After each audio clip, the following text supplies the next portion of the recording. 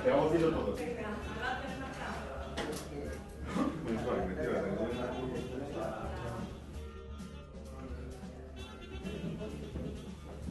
E un altro.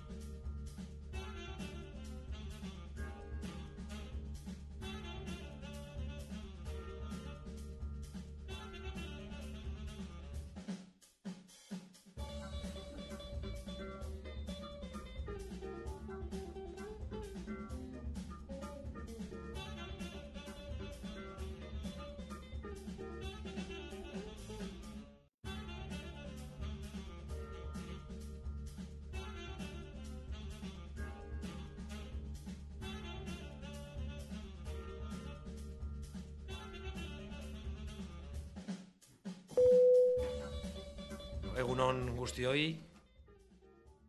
Udalbatzak 2008ko ustaiaren sortzian e, egingo duguna parteko osoko bilkuraren gai zerrendari eutxiz, ongi etorria ematen diogu herritarren defendatzaileari, gartzen dia jaunen jaunari eta bere e, taldekideari. Eta lehenengo eta behin zuen e, parte hartzea izango dugu, entzun gai eta gero talde politiko entzanda izango da. Beraz, e, hartzen dia jauna, nahi duzunean.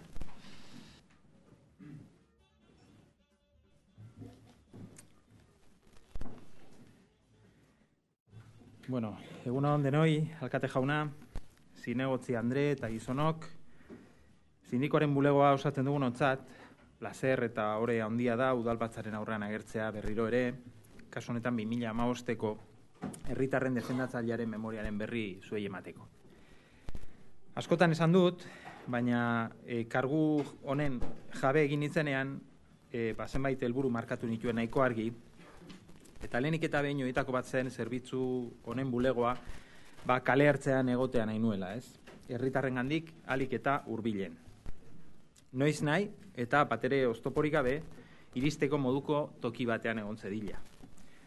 Bestetik, herritarren artean erreferentzia garrantzitsua izatean nahi nuen, gure langintza ezagun izan zedila eta hartu emanak alik eta zuzenenak izatean nahi nuen. Gure, eh, hori alperrikako bitartekaritzarik gabe, eh? zuzeneko harreman hori bilatu nahi genuen. Gure zerbitzua besteen gandik bereiziko bazen, ba, ur, urbiltasunak egingo zuen berezi. Arreta pertsonalizatuak, entzute aktiboak eta implikazioak. Ordutik ona irurte baino gehiago pasa dira eta uste dut ba, gure zerbitzuak denbora honetan zehar izan duen bilakaeraz balantze bat egiteko moduan garela. Ondorio batzuk ateratzeko aukera dugula beraz. Alde horretatik uste dut ba, ez ditugula falta kontent egoteko arrazoiak gure helburuak betetzen ari direla uste dugulako. Eh, en relación con los datos estadísticos, como primera cuestión, hoy pretendo hablarles de, de, muchas cosas, la verdad, pero procurar hacerlo con brevedad y, en fin, aburrir lo menos posible. Eh, pero primero una breve mención a los datos estadísticos por esta cuestión que hablaba de, la visión positiva que, que mantenemos. Durante el año 2015 atendimos a un total de 2.659 incidencias. Se consideran incidencias eh, tanto las atenciones directas en nuestra oficina como las atenciones por vía telefónica, email, fax, correo ordinario o redes sociales. Eh, estos datos suponen un crecimiento del 9,3% respecto a los datos del año 2014 y reflejan de alguna manera el grado de interacción que tiene la oficina del síndico con otros con la ciudadanía en general, con otros servicios municipales y agentes externos. En este ejercicio, además, hemos, tra hemos trabajado sobre un total de 252 asuntos, eh, de los cuales 216 fueron asuntos nuevos eh, y eh, 36 expedientes abiertos en anteriores ejercicios. De los asuntos nuevos, algunos fueron expedientes y otros consultas, luego ya les eh, especificaré. ¿no? Consideramos que es un dato muy reseñable el hecho de que en 2015 el número de expedientes abiertos en nuestra oficina se haya incrementado un 23,85% respecto a los expedientes de queja abiertos en 2014, mientras que el incremento en relación con 2013 sería de un 34,17. ¿no? no solo aumenta de forma muy significativa el número de casos que se nos plantean, sino que ese aumento además se acelera en el último año. Por supuesto, siempre cabe interpretar este aumento de los números en, en, una, cada vez una interpretación en el sentido de que las prácticas incorrectas por parte del Ayuntamiento de Vitoria-Gasteiz hubieran podido aumentar también en ese periodo, pero nosotros, francamente, nos decantamos por considerar que se dé una mayor implantación de nuestro servicio entre la ciudadanía. Eh, como muestra, digamos, de, de, esa relación que mantiene la oficina del síndico con, con, la ciudadanía y con los distintos agentes, diremos que durante el año 2015 hemos compartido con la ciudadanía, con la ciudadanía 203 citas o reuniones, eh, como digo, con ciudadanos y asociaciones de todo tipo, frente a las 163 que celebramos el año 2014, casi un 20% más. Pero además, durante este año hemos procurado eh, mejorar en cuanto a la eficacia en la gestión de expedientes y, en particular, a la hora de resolver y, cerrar dichos expedientes. ¿no? De forma que en 2015 son 124 los expedientes cerrados, un 9% más que en 2014 y un 22,5% más que en 2013. Es decir, que son más los asuntos que, se, que llegan a la oficina del síndico, pero son también más los asuntos que logramos cerrar. ¿no? Eh, este resultado, pues la verdad que no es casual, sino que responde a un plan de mejora que acometimos en el año 2014 con una serie de objetivos concretos que hemos procurado ir cumpliendo y que, bueno, hasta, hasta el momento seguimos cumpliendo, sin perjuicio de que, en fin, eh, habrá que fijar nuevos objetivos y, en fin, que hay un margen de mejora amplio. ¿no? El casco viejo y el ensanche vuelven a ser los barrios de Vitoria, de donde procede la mayoría los, el mayor número de los eh, vecinos que presentan queja, que son 17 del casco viejo y 14 del ensanche, respectivamente. ¿no? Respecto a la representación de ambos géneros, se ha equiparado bastante la presencia de, quejas planteadas por mujeres, que ya supone un 40% del total. Durante el ejercicio 2015 se emitieron un total de 115 resoluciones, fueron más los expedientes cerrados, pero se suelen cerrar por otras circunstancias, como caducidad, desistimiento de la persona. Y eh, yo destacaría de este dato que más de la mitad de los expedientes se cierran por intermediación y orientación, ambos con un 28% eh, de porcentaje. ¿no? Eh, las desestimaciones suponen únicamente un 17% del total y las recomendaciones el 12% de los casos. ¿Esto qué quiere decir? Pues que digamos que la mayoría de los casos, por así decirlo, se cierran a través de la intermediación que desde la oficina del síndico eh, llevamos a cabo con los distintos servicios. De forma que sin necesidad de, bueno, pues de, dictar una recomendación, pues logramos que se alcance ese acuerdo, como digo, entre los ciudadanos y la Administración. Eh, al término de esta memoria, el 43% de las recomendaciones aportadas han sido aceptadas. En un, 14 de ellas desconocemos su respuesta y el mismo 43% han sido, eh, es decir, el mismo porcentaje ha sido aceptado y desestimado, un 43%. Como hemos dicho, hubo otras muchas reclamaciones que se eh, resolvieron por otras vías. Además, cuando cerramos un expediente, pues procuramos aportar a la ciudadanía un cuestionario, aportamos un cuestionario para que muestre el grado de satisfacción con el servicio. En este sentido, hay que decir que se mantienen los datos de años anteriores. La inmensa mayoría, eh, más de un 90% de los encuestados, o por lo menos de los que presentan su encuesta, sitúa su respuesta entre buena y muy buena y eh, la evaluación positiva o muy positiva eh, respecto a la duración, eh, el tiempo transcurrido en el proceso de resolución, el 50%, de los que han, el 50 de los que han contestado opina que la resolución se ha dado en un plazo largo o muy largo, mientras que el otro 50% aproximadamente le ha parecido corto o muy corto. Bien, es cierto que muchas veces la resolución expediente no depende exclusivamente, en la mayoría de los casos, de la respuesta por parte de, la oficina del síndico, sino por parte de otros servicios y departamentos, pero no obstante vemos que aquí hay un margen de mejora. Y más del 74% de los entrevistados dice estar bastante o muy de acuerdo con la conclusión extraída a pesar, como solemos eh, decir en, ocasiones, que un 43% dice que no se ha resuelto el problema, es decir, estar de acuerdo con la decisión, aunque no siempre se resuelve el problema, eh, la práctica, pues, eh, bueno, pues porque sea irresoluble o porque el ciudadano no tenga razón, en fin. en definitiva, el 95% de los que cumplimentan el cuestionario hizo una valoración positiva del servicio, y eh, refrendado por las personas que no dudarían en aconsejar la figura del síndico en cualquier caso, que son el 87%, y otro 9% que lo haría en algunos casos. Eh, por tanto, decir que desde la oficina del síndico valoramos muy positivamente y, en fin, sin triunfalismos, pero creemos que los datos eh, del año 2015 son buenos, que se produce un aumento significativo de la actividad, que esperemos que continúe. El primer, trimestre, el primer semestre del año 2006 apunta a esa misma dirección, en un aumento de los casos y de, de asistencias y de visitas por parte de la ciudadanía y, a decir que ese era el objetivo de alguna forma, estar presente y tener una incidencia real y ser un referente y en ese sentido pues estamos satisfechos, aunque como digo, sin triunfalismos y buscando siempre eh, la mejora. ¿no? Bien. A continuación, y eh, como suele ser habitual, eh, pasaremos a hacer una breve mención de aquellos casos que estimamos más, más, relevantes del ejercicio de 2015. Son bastantes cosas y, bueno, espero hacerlo lo más ameno posible y no extenderme demasiado. ¿no?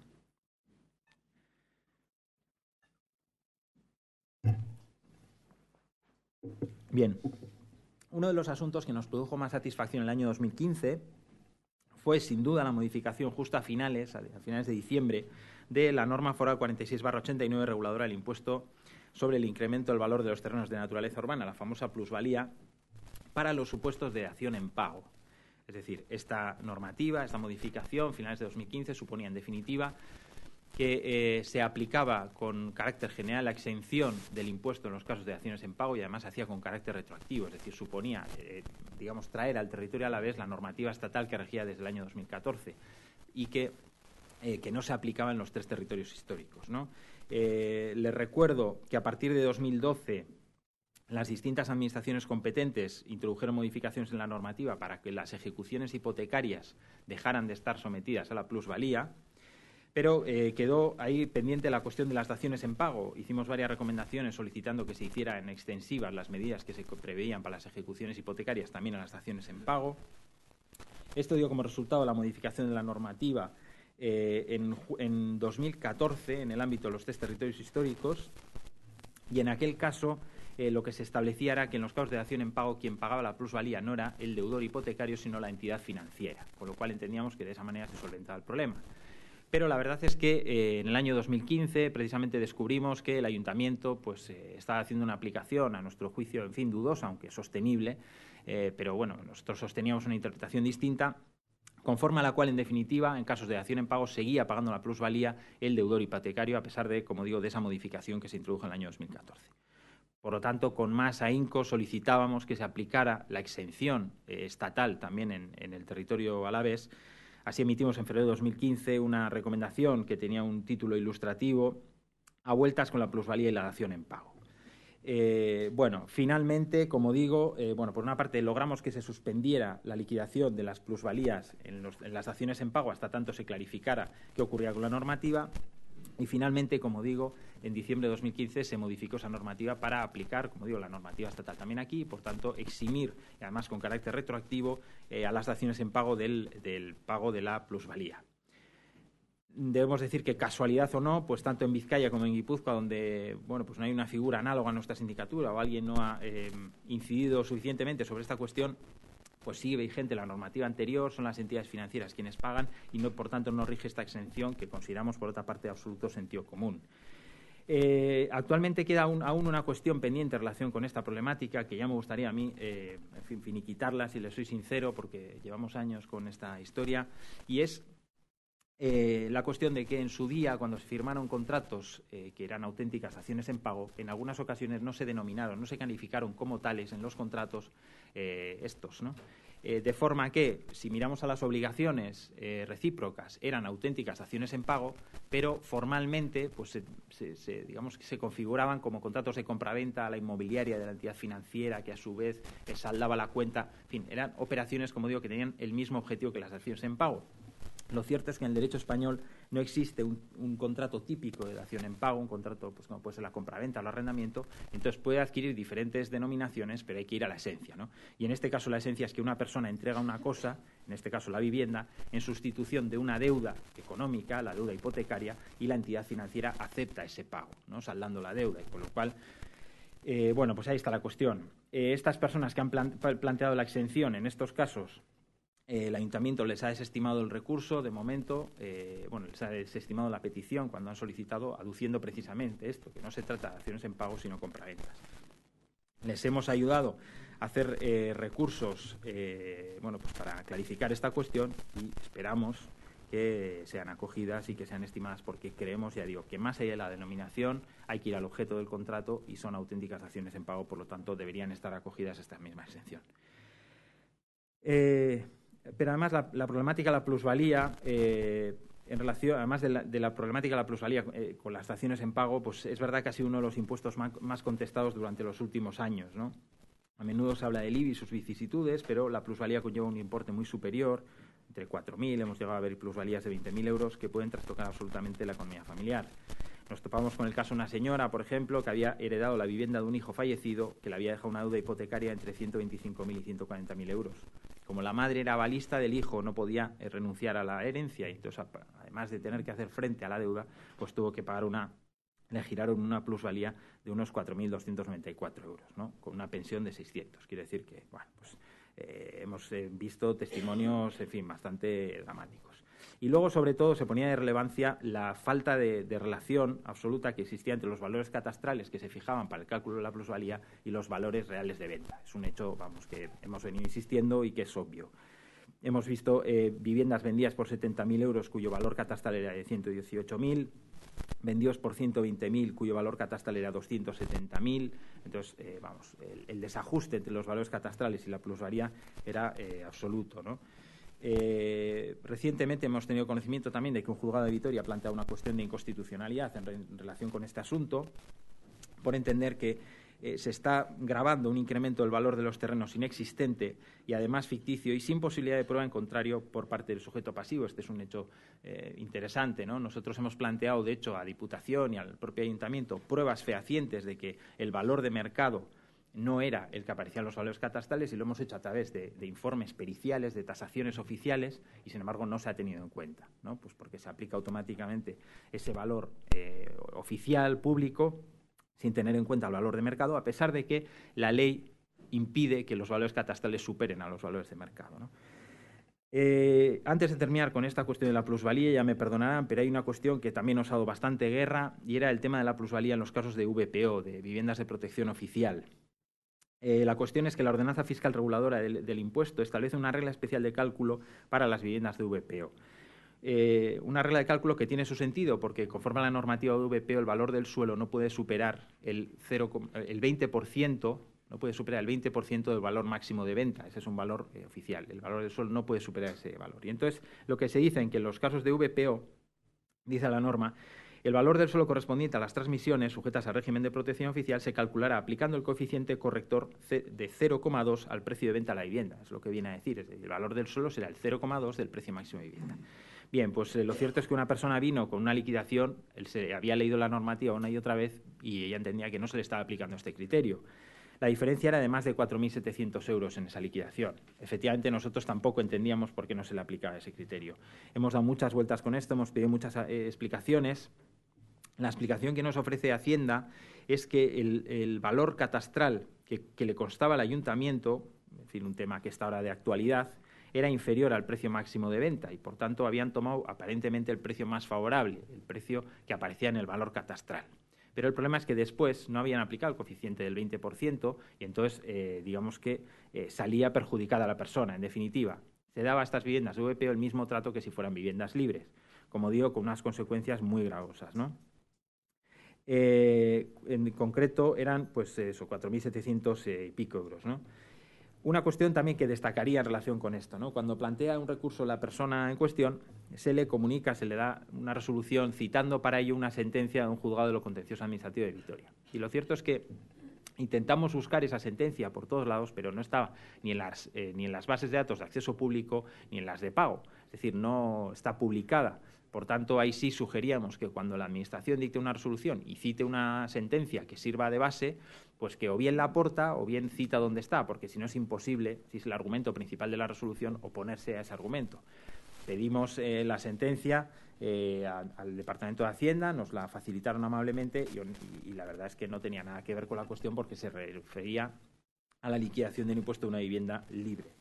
Y por tanto, bueno, la cuestión es, en definitiva, y voy terminando con este asunto, eh, finalmente la Administración dio la razón a esta persona, le devolvieron, ahora sí lo digo, 4.748 euros porque entendían que la liquidación no se había ajustado a la norma, pero el problema es que a continuación, después de, de resolverse la cuestión hemos tenido conocimiento de al menos tres casos más de plusvalías líquidas eh, de este mismo modo, después de que pusiéramos, digamos, advirtiéramos al Departamento de Hacienda que no veíamos claro ese sistema de cálculo. Y por tanto, bueno, ahora mismo están en fase de recurso y demás, pero esperemos que se solventen, como digo, porque sería aplicar el mismo criterio razonable y legal que se aplicó en el caso anterior.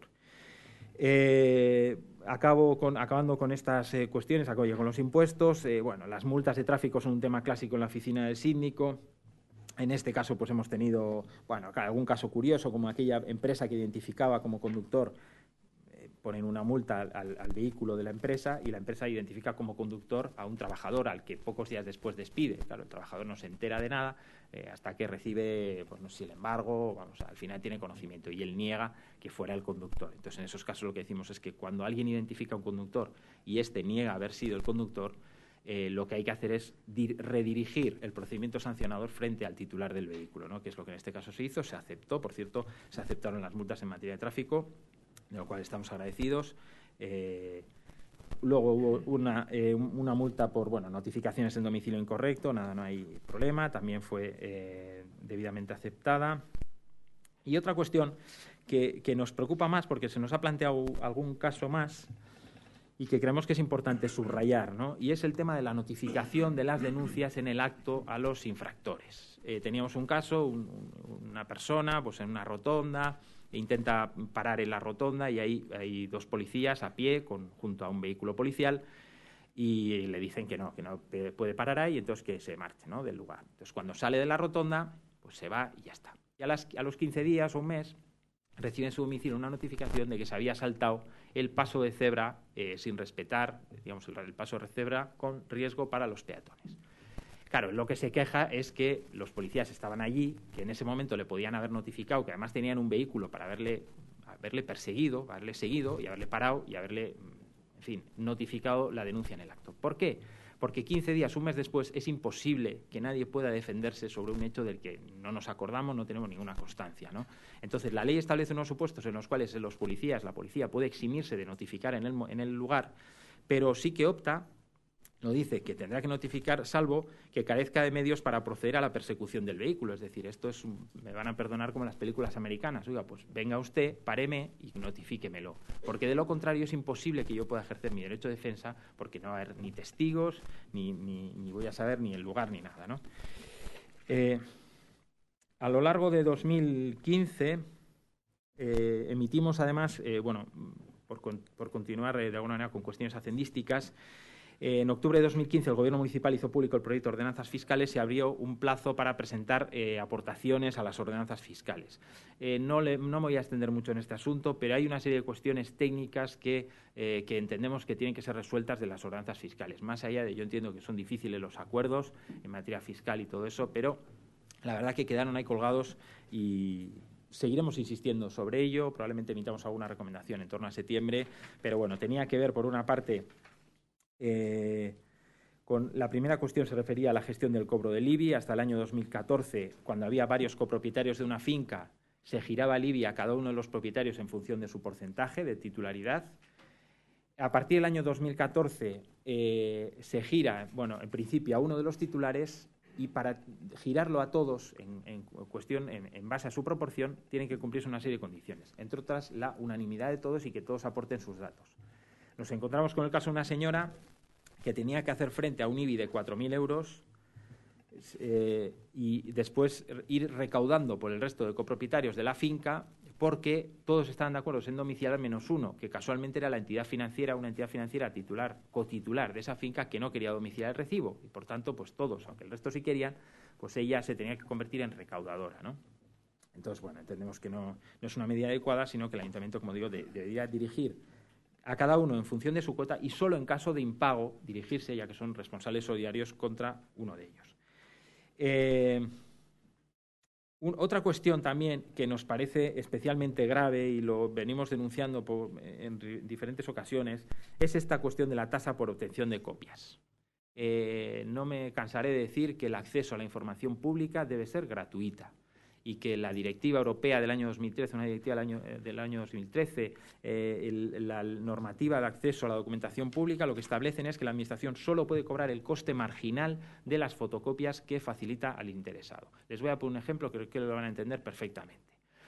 A un joven eh, le, le notifican una denuncia por supuesta conducción bajo los efectos de las drogas. La multa amenaza con 1.500 euros y seis puntos de carné. Eh, en concreto por eh, positivo en opiáceos. Eh, la persona acude a la policía local a interesarse por, ese atestado, por ese informe, por, ver que, por esa prueba que le habían realizado. Y en policía local le cobran 102 euros por obtener la copia de algo que es esencial para el derecho de defensa. Es imposible defenderse si no se tiene con esa información mínima. ¿no? Es un absoluto despropósito, insistiré con esto, es un tema que, en fin, que me cabrea porque si se tiene derecho a acceso, se tiene derecho a acceso. Y por tanto, eh, me podrá usted copiar, eh, eh, perdón, cobrar las copias, pero lo que no me puede hacer cobrar una tasa cuyo efecto claramente es disuasorio. En este caso les he de decir que además el, positivo de opiáceos en realidad era por codeína, se había tomado un, jarabe contra la tos y efectivamente los informes médicos atestiguan que, que los jarabes para la tos dan positivo y que por tanto, bueno, pues ahora se está barajando que la sanción ya no sea por eh, conducción bajo los efectos de las drogas, sino por conducción negligente, por haber conducido bajo los efectos de los medicamentos. Pero claro, ya la multa es de 200 euros, no era de 1.500. Así que se hace una idea que solo el atestado costaba la mitad de lo que finalmente llegó a costar la multa. Entonces, esta es una cuestión, ya digo, que nos gustaría que se solventara si es posible. Eh, otra cuestión Eh, que también queda pendiente es el tema de la bonificación para estudiantes en las instalaciones deportivas municipales. También venimos insistiendo. El sistema que se establece, este famoso los 100 kilómetros, eh, campus de Álava, campus de tal, es confuso y además no responde a una razón clara. no, no, tiene una lógica clara. Tenemos casos para todos los gustos, jóvenes que estudian en Eibar y que dicen por qué no se pueden acoger, jóvenes que estudian en Bilbao que dicen que porque no hay 100 kilómetros que qué más da, gente que estudia en Mondragón y dice, bueno, pues yo estudio en Mondragón pues porque no puedo estudiar aquí, yo qué culpa tengo. Eh, en fin, la cuestión es que durante el año, eh, si no recuerdo mal, 2014, no, 2015, 2014-2015 eh, es un tema que, viene de lejos. Estuvimos reunidos y trabajando junto con el Servicio de Deportes para buscar una solución a esta cuestión y para buscar un texto que pudiera satisfacer eh, el principio de igualdad, en definitiva, ¿no? porque luego están los estudiantes universitarios, pero también estaban los que estudian formación profesional, etcétera. ¿no? Finalmente se llegó a un consenso y a un texto con el cual nosotros estamos de acuerdo y que además fue el que el equipo de gobierno propuso en, las, en, el borrador de ordenanzas fiscales para el año 2016. Nosotros estamos contentos porque creíamos que se iba a aprobar, pero finalmente no se aprobó por, otras cuestiones. Bueno, pues este es otra, otro tema eh, que, me gustaría que, ya digo, insistiremos sobre él. Creemos que son cuestiones técnicas que no responden exactamente a un planteamiento político, con lo cual nos metemos ahí, ¿no? Pero, bueno, pues ahí está. Eh, este año ha dado muchas, en el año 2015 dio muchas vueltas un tema del caso de una correduría de seguros y la tasa basura, se ha estado en los medios y tal. Eh, sobre todo me interesa señalar este asunto para citar la falta de respuesta por parte de, de la Administración. Es un expediente muy particular, este yo siempre lo he dicho, nunca barajo, por supuesto, la tesis de la conspiración y de la persecución personal, pero la verdad es que si uno ve el expediente, aquello tiene todos los visos de serlo. Insisto, lo niego, lo rechazo absolutamente, no creo que haya persecución ni nada, ni un interés personal, pero la verdad es que uno ve el expediente y a este hombre, eh, vamos, le desestima, le estima, luego le estima el órgano económico administrativo, bueno, en fin. Eh, se trata, en nuestro juicio, de un cambio de criterio, donde se venía eh, cobrando a los corredores de seguros, que recuerdo son intermediarios, son vendedores de seguros, intermediarios entre la aseguradora y el cliente, donde se venía cobrando a tasa basuras como comercio oficina, eh, pues se pasa a cobrarles como bancos y seguros, aproximadamente el triple de lo que venían pagando en la tasa basuras. Y además esta persona se queja de que se lo hacen a él solo, que, no se lo hacen otros colegiados. Luego sí hemos advertido que se ha extendido más, pero al principio es verdad que fue el, el primero, ¿no? Eh, bien, eh, es una cuestión jurídica compleja. Consideramos que el régimen jurídico es distinto, el que corresponde a los bancos y aseguradoras y el, de los corredores de comercio, y la normativa es clara en ese sentido. Y expusimos unos argumentos jurídicos por los cuales entendíamos que, sin perjuicio de que la normativa se, modificara a futuro, creíamos que no podía haber ese cambio de criterio, eh, digamos, con efecto retroactivo. ¿no? Y en aquel caso, el ayuntamiento nos suele pasar en alguna ocasión con el Departamento de Hacienda y tal, cuando ponemos de manifiesto algún problema, algún error de interpretación, alguna duda, pues lo que suelen hacer es, en lugar de darnos la razón y corregir la actuación, pues lo que hacen es modificar la normativa, que nos parece bien, pero creemos que eso debería conllevar también la corrección de la actuación eh, previa. ¿no? Y en este caso se modificó precisamente el borrador de ordenanzas, metió una nueva cláusula para evitar esta consecuencia. Entonces dijo, bancos seguros, decía la tasa de basuras, y otras relacionadas con los seguros y actividades financieras de más de tantos metros hasta tantos metros. Bien, eh, sin perjuicio de que esto pueda afectar a otras empresas que también venden seguros, como concesionarios, etcétera, etcétera, pero en todo caso no nos oponemos a que se modifique la normativa, pero que se aplique a futuro, pero no eh, al, al, pasado, ¿no? Y por tanto entendíamos que se debía corregir esta situación. Eh, pero sobre todo lo que destacaríamos de este asunto es que después de haber planteado recursos administrativos y reclamaciones económico-administrativas, haber pasado un año, pues esta persona ha tenido que acudir a los tribunales sin que tenga una respuesta firme de, qué pasa con lo suyo. ¿no? Y eso nos lleva, eh, si me permiten, un inciso en nuestra exposición, eh, hablar, antes de terminar con estos asuntos referidos a la Hacienda Municipal, a un asunto que consideramos de interés y que, que nos produce cierta inquietud. ¿no? Eh, hemos aludido a que hay diversos asuntos y, tenemos constancia además, tributos, plusvalías, tasas de basuras, eh, que algunos de los cuales están sin resolver y en algún caso lo dirimirán los tribunales, ¿no? porque están sometidos a los tribunales.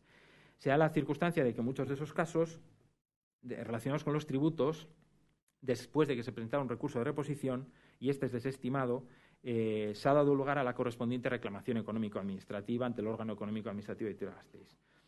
Recordemos que esta figura fue introducida por la Ley 57-2003 de modernización de la Administración local, con el fin de obtener una mayor eficacia en la actuación administrativa y como forma de abaratar y agilizar los procedimientos, o una forma de que el ciudadano pudiera obtener una respuesta por un órgano imparcial, independiente, sin necesidad de acudir a los tribunales. En septiembre de 2012 se aprobó el reglamento por el que se regula este órgano, incardinado en la Administración, pero jerárquica y funcionalmente independiente del mismo.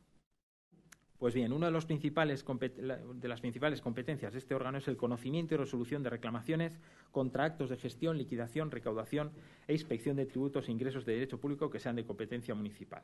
Hay que recordar que mientras que el recurso de reposición es potestativo, la reclamación económico-administrativa, y yo creo que esta es la clave, es obligatoria. Es decir, para poder acudir a los tribunales es necesario haber interpuesto una reclamación económico-administrativa.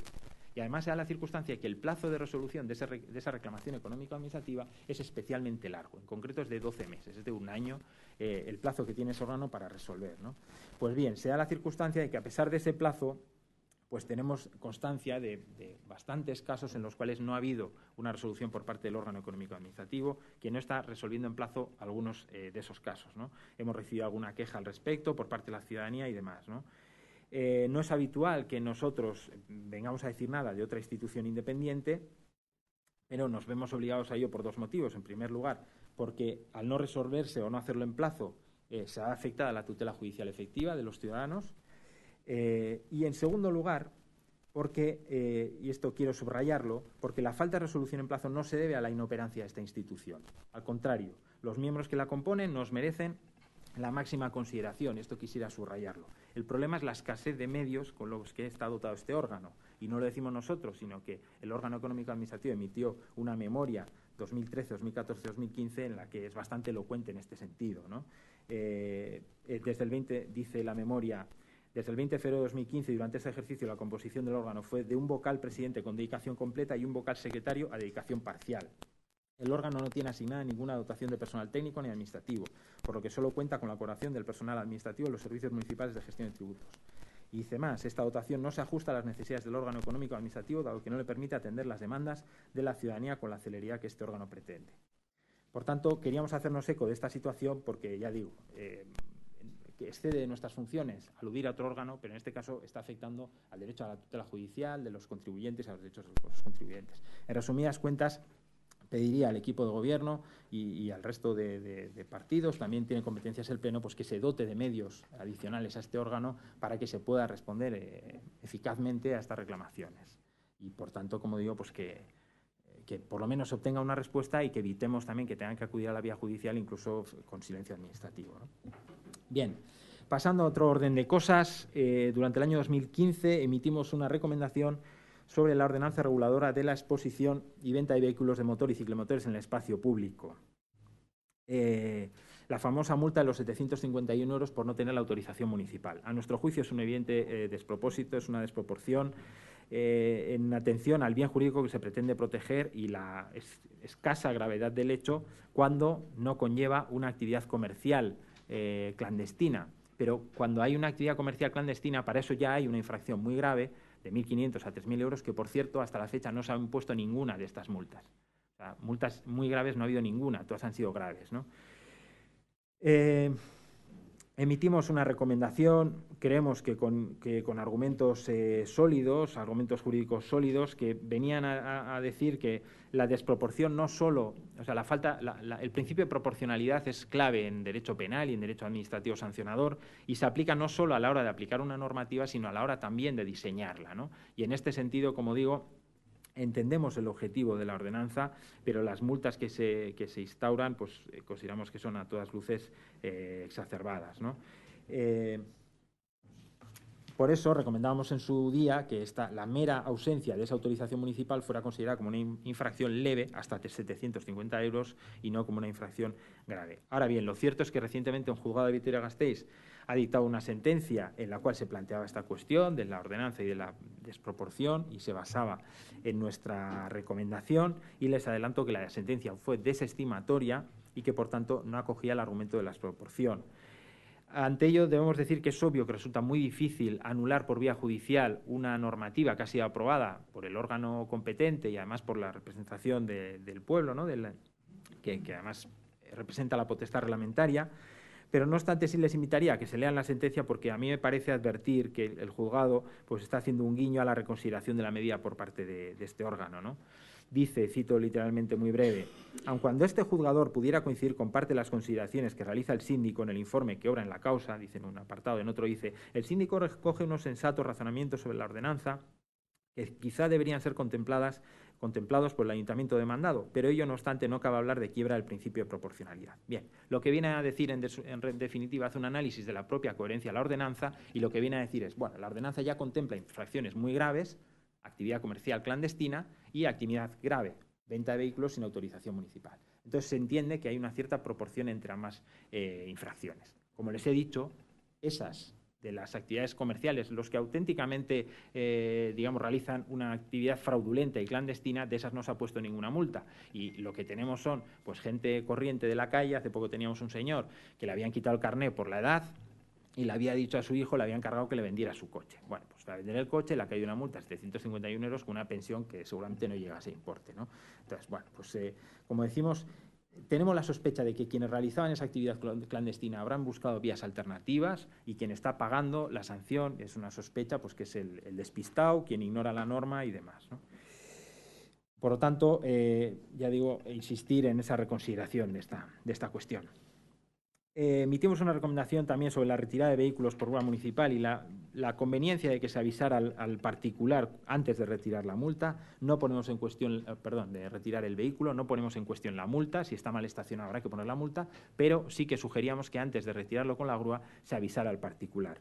Eh, del mismo modo que la Administración reclama la colaboración de la ciudadanía cuando hay alguna ineficacia, algún desperfecto en la ciudad, en la vía pública, ¿no? que parece razonable también que la Administración, cuando cometemos algún error, cuando es un error subsanable, pues que ofrezca esa misma colaboración antes de causarme un perjuicio innecesario, teniendo en cuenta que tenemos unas de las tasas de grúa más altas del Estado. Eh, es, una, eh, es una cuestión que no es novedosa, ya se viene aplicando en, el Ayuntamiento de Pamplona y que parece que, con éxito. La recomendación no fue aceptada, pero bueno, ahí está. Emitimos una eh, recomendación en relación con, la gestión de los, eh, de los Aldave y Renfe. La gestión proviene de los años 90 con un convenio que nosotros entendemos que había que actualizar y que había que regularizar. Y, seguimos insistiendo en que creemos que esa situación debe ser regularizada. Nunca hemos puesto en cuestión la labor que realiza esta asociación, que entendemos que es encomiable, eh, pero creemos que esta situación, la situación jurídica de esa gestión, debe ser aclarada pues, a la luz de la ley de bases de régimen local. Eh, hacíamos sugerencias en relación con la posibilidad de, atribuir este servicio a centros especiales de empleo, incluso que el personal actual se pudiera subrogar en la contrata, es decir, no implica ni siquiera que las personas que estén allí no puedan seguir realizando su labor, pero sí de forma, eh, pues, digamos, adecuada. ¿no? Eh, por otra parte, eh, subrayo este asunto también porque cerramos este expediente por una, a través de una vía que no solemos utilizar nunca, que es la de requerimiento de recomendación, que es cuando la recomendación no tiene respuesta alguna, es una forma de cierre. ¿no? Bueno, por poner eh, de manifiesto que esperamos no tener que acudir más a este tipo de cierres. ¿no? Eh, los, asuntos de ruido son asuntos típicos en la oficina del síndico. Hemos tenido un par de casos que se han solventado con, medidas urbanísticas muy sencillas. Plaza Zumaya, calle Girona, el día pasado pasé por ahí. Bueno, se, trataba de asuntos pues, de balonazos de los niños contra las fachadas, que suelen ser muy molestos porque el ruido por impacto pues, realmente es muy molesto. ¿no? A veces pequeñas intervenciones urbanísticas, un banco, eh, un eh, un aparcabicicletas bien ubicado en el caso de la calle Girona, pues solventan el asunto, la persona está encantada y hemos eh, solucionado un problema. En 2015 fue tortuoso el problema de las barredoras y camiones de recogida de basuras. Eh, nos dieron muchas, hubo muchas quejas en relación con esto, los ruidos ahora sin tempestivas. en los últimos meses han decaído las quejas por este motivo.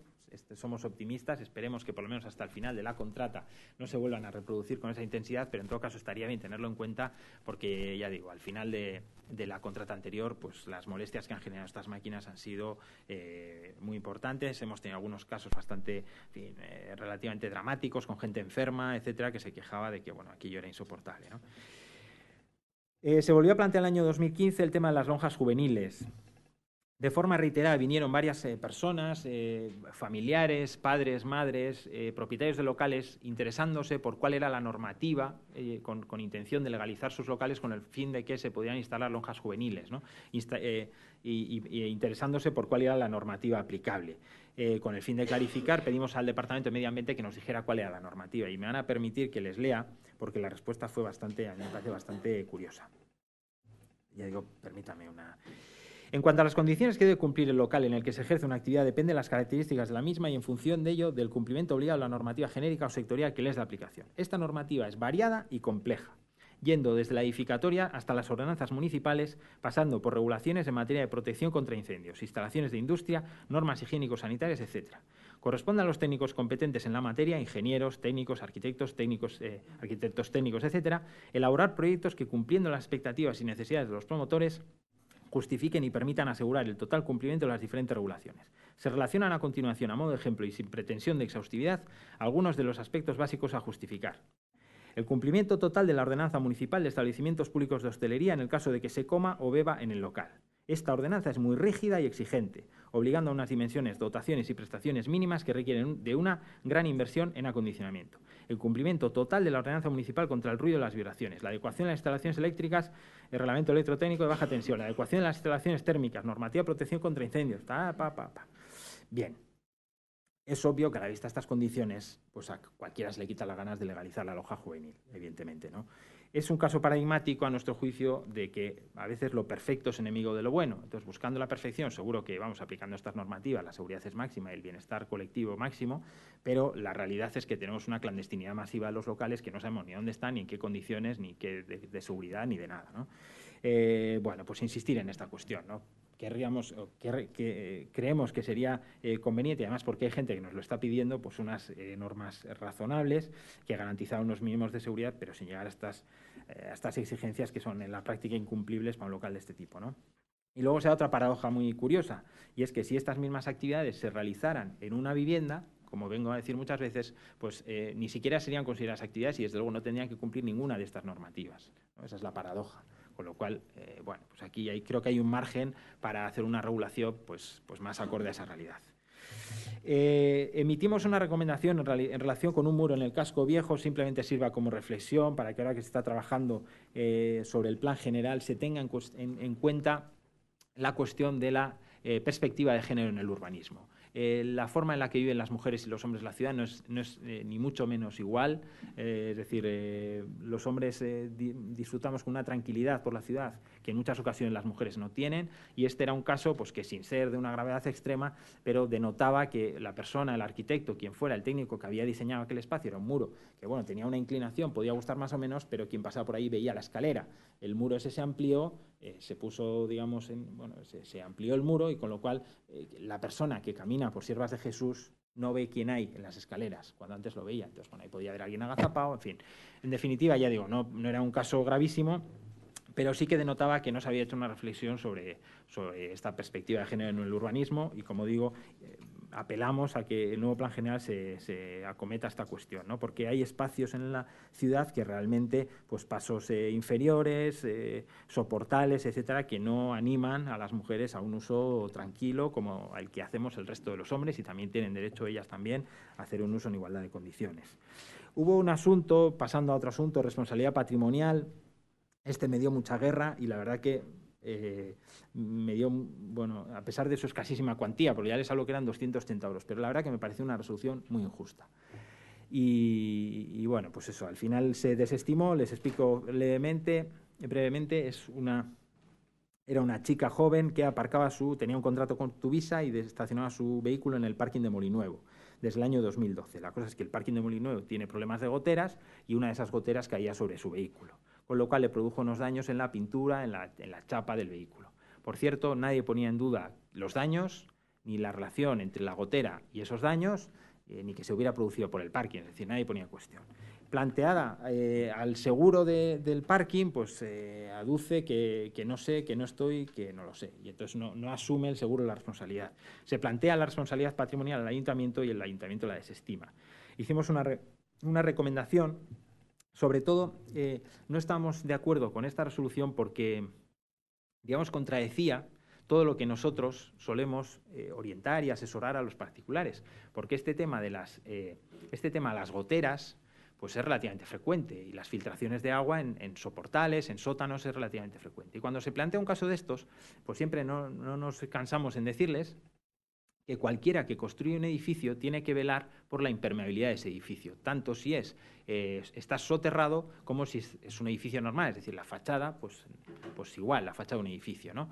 Y por tanto, que si hay filtraciones, porque a veces la gente se queja, ¿no? Es que el problema está en la plaza de arriba, la plaza pública, que claro, hay estancamientos. Mire usted, como si hay un estanque de patos en la plaza, lo cierto es que su garaje tiene que ser impermeable.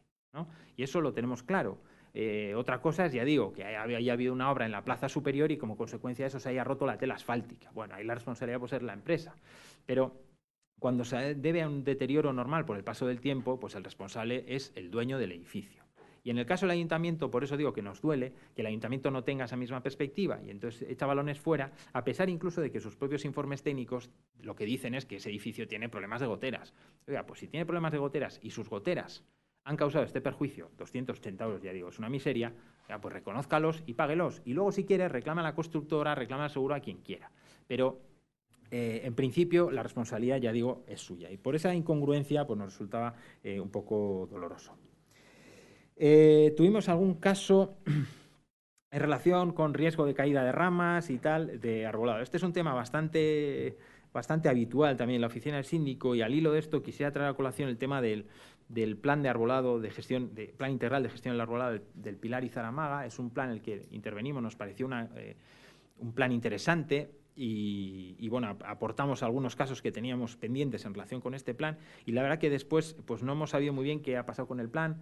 Eh, está en fase de borrador, no es público, también esto creemos que tiene que ver con la transparencia, ¿no? Claro, si es un plan ahí que está redactado, incluso más allá de que no sea aprobado, pero creemos que debería ser de acceso público, ya digo, espero no confundirme, pero lo estoy buscando, lo he estado buscando y no, no lo he encontrado.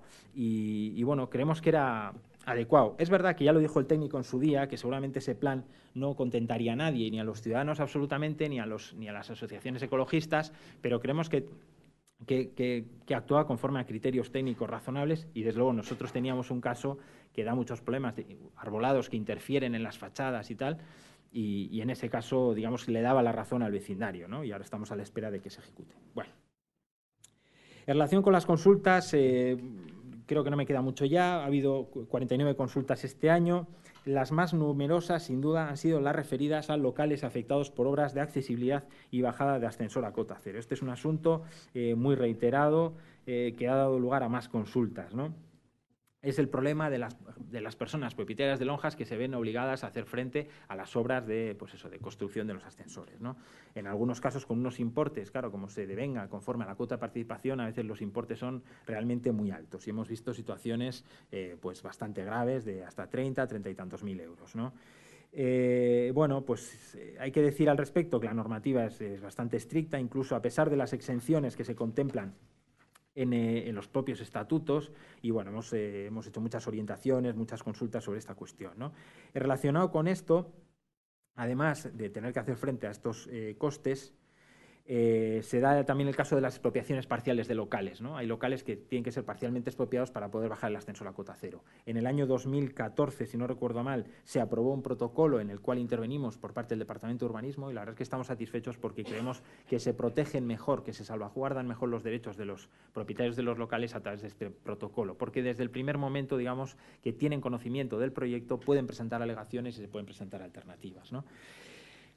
Me gustaría eh, me gustaría una pequeña reflexión sobre esta cuestión de las, de las obras a cota cero, porque realmente es un caso grave eh, los que acuden a nuestra oficina, habrá de todo, lógicamente, pero los que acuden a nuestra oficina suelen ser locales que en muchos casos llevan meses o años eh, sin renta alguna, abandonados, que en su día pudieron comprarse pues, para, para cubrir en parte la, pensión de autónomos y demás, y bueno, se encuentran con estas eh, obras que tienen, como digo, un importe muy alto, y la verdad es que por más que la norma sea clara, yo no acabo de verle la justificación a esta norma, el ascensor a un propietario local que la mayoría de las veces ni siquiera tiene llave del portal, no han accedido nunca, no tienen acceso al portal, no le ofrece un mayor beneficio que a cualquiera de nosotros. ¿no?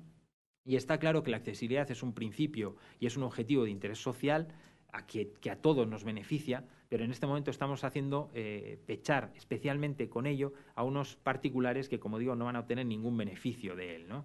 Eh, la verdad es que la ley de propiedad horizontal ha dejado muy poco margen de negociación a los propietarios de los locales en relación con este asunto, muy poco margen. Hemos visto eh, conductas por parte de vecinos, bueno, en fin, eh, pues, pues rotundas, vamos a dejarlo ahí, ¿no? Y, por tanto, sugeriríamos, queremos sugerir, aunque tampoco tenemos del todo perfilada esta cuestión, pero creemos que las ayudas que se, que se, de que se doten eh, este tipo de obras, las ayudas que se ofrezcan a este tipo de obras, deberían favorecer el acuerdo entre vecinos y propietarios de locales. Debería premiarse aquellas obras en las cuales lleguen a un acuerdo, eh, sea el que sea, es decir, que se compense eh, pues esas reducciones, por ejemplo, en la aportación que se puedan pactar entre vecinos y locales, incluso exenciones, porque también hay locales, hay, perdón, hay portales que eximen a los locales del pago de la obra, ¿no? porque entienden que efectivamente no les procura ningún beneficio, pero digamos que, se reflexione sobre esta cuestión, la posibilidad de premiar eh, aquellas comunidades que consigan llegar a un acuerdo en los términos que sea y de compensar, en parte al menos, pues ese acuerdo al que puedan llegar. ¿no?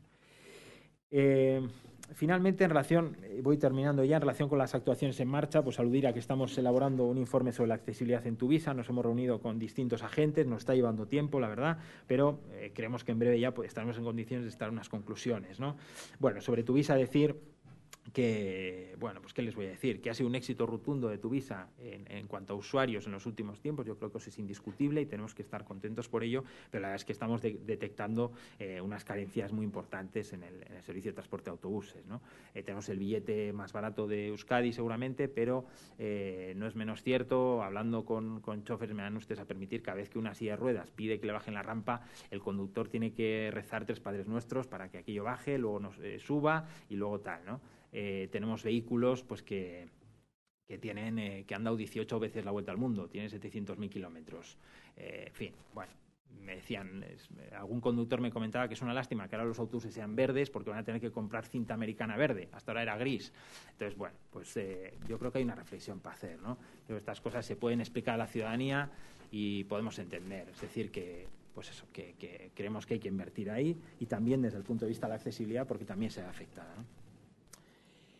En los últimos meses hemos estado coordinando, haciendo labores administrativas, un poco de, incitación de la plataforma del casco medieval para la conciliación del ocio y el descanso vecinal. Esta propuesta parte de los vecinos del casco viejo que nos plantean pues, el problema que todos conocemos del ruido en la parte vieja. Nosotros tenemos varios expedientes abiertos que no, cuya resolución no vemos eh, cercana y entonces nos planteamos que algo hay que hacer y, por tanto, entre todos nos proponemos crear esta plataforma antes de que se crearan los órganos de participación que después han venido con el fin de mover un poco la cuestión porque entendíamos que el Ayuntamiento no había hecho nada en relación con esto, nada así sustancial en los últimos años. ¿no? Eh, estamos contentos con esta plataforma, la verdad les digo, pues porque eh, tiene representantes de muy diversa índole, están los hosteleros, están vecinos, comerciantes, policía local, técnicos municipales. Eh, y está llegando a unas conclusiones que creo que son bastante razonables, ¿no? como la falta de datos sobre la problemática. Todos sabemos que la problemática existe, evidentemente, pero si queremos hacer un plan a medio o largo plazo, es positivo que conozcamos esos datos y que conozcamos la evolución, que sepamos si lo que estamos haciendo, por ejemplo, sirve para algo o no, o si cambia de ubicación y demás.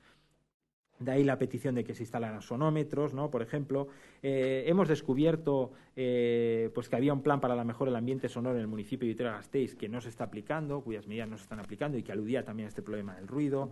Eh, también hemos descubierto que no hay ninguna partida presupuestaria que contemple esta cuestión de los ruidos y por eso aquí apelo a que cuando elaboren el presupuesto del año 2017 tengan en, cuenta esta cuestión y por tanto se pedía que se habilitara una partida presupuestaria. Lo cierto es que la plataforma no ha recibido ninguna respuesta hasta la fecha. Yo le rogaría que, bueno, pues por lo menos que ofrezca una, respuesta porque ya digo, se está haciendo un trabajo serio, nos hemos reunido en siete ocasiones, hay una participación amplia y yo creo que merece por lo menos eh, una respuesta. ¿no? Eh, como en años anteriores, eh, es una mención obligada también la situación del casco viejo, al igual que lo hice el año anterior.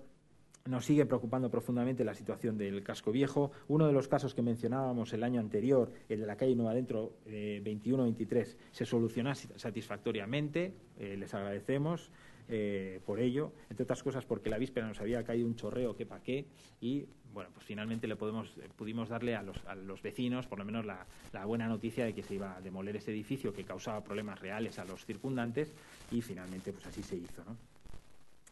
Eh, lamentablemente, el PERI en vigor desde febrero de 2007 no ha sido desarrollado en su totalidad y no sabemos si tiene que ser este documento u otro el instrumento, pero la finalidad última que figura en el PERI, es decir, conseguir el mantenimiento de la población, la elevación de sus condiciones de vida y calidad de las viviendas y la potenciación de los equipamientos comunitarios y de las actividades económicas compatibles, objetivos del PERI, consideramos que son esenciales preservarlos y culminarlos. ¿no? Tenemos casos de todo tipo, desde edificios declarados en ruina, cuyos propietarios no pueden hacer frente al derribo y posterior rehabilitación. No pueden hacerlo y no es previsible que lo puedan hacer. Inmuebles en que sus habitantes no pueden costear las obras para un mínimo mantenimiento. Eh, edificios en los cuales el Ayuntamiento en Sánchez 21 son propietarios de varios pisos. Viviendas afectadas por el PERI que iban a ser objeto de expropiación porque formaban parte de una unidad de ejecución. Eh, sometida a expropiación y que finalmente no lo ha sido. Entonces están en una especie de limbo. Les iban a expropiar, pero no les han expropiado. No pueden hacer nada y mientras tanto, como digo, están en una suerte de limbo. Acogemos con optimismo la contratación de la asistencia técnica para el estudio de la edificación residencial del caso medieval de Vitoria-Gasteiz, que creemos que va en esta línea, aunque sí que echamos de menos, hay que decirlo, que se hubiera cometido un estudio integral que contemplara también la realidad social de los edificios, no solo el estado arquitectónico, eh, sino las condiciones socioeconómicas de los habitantes.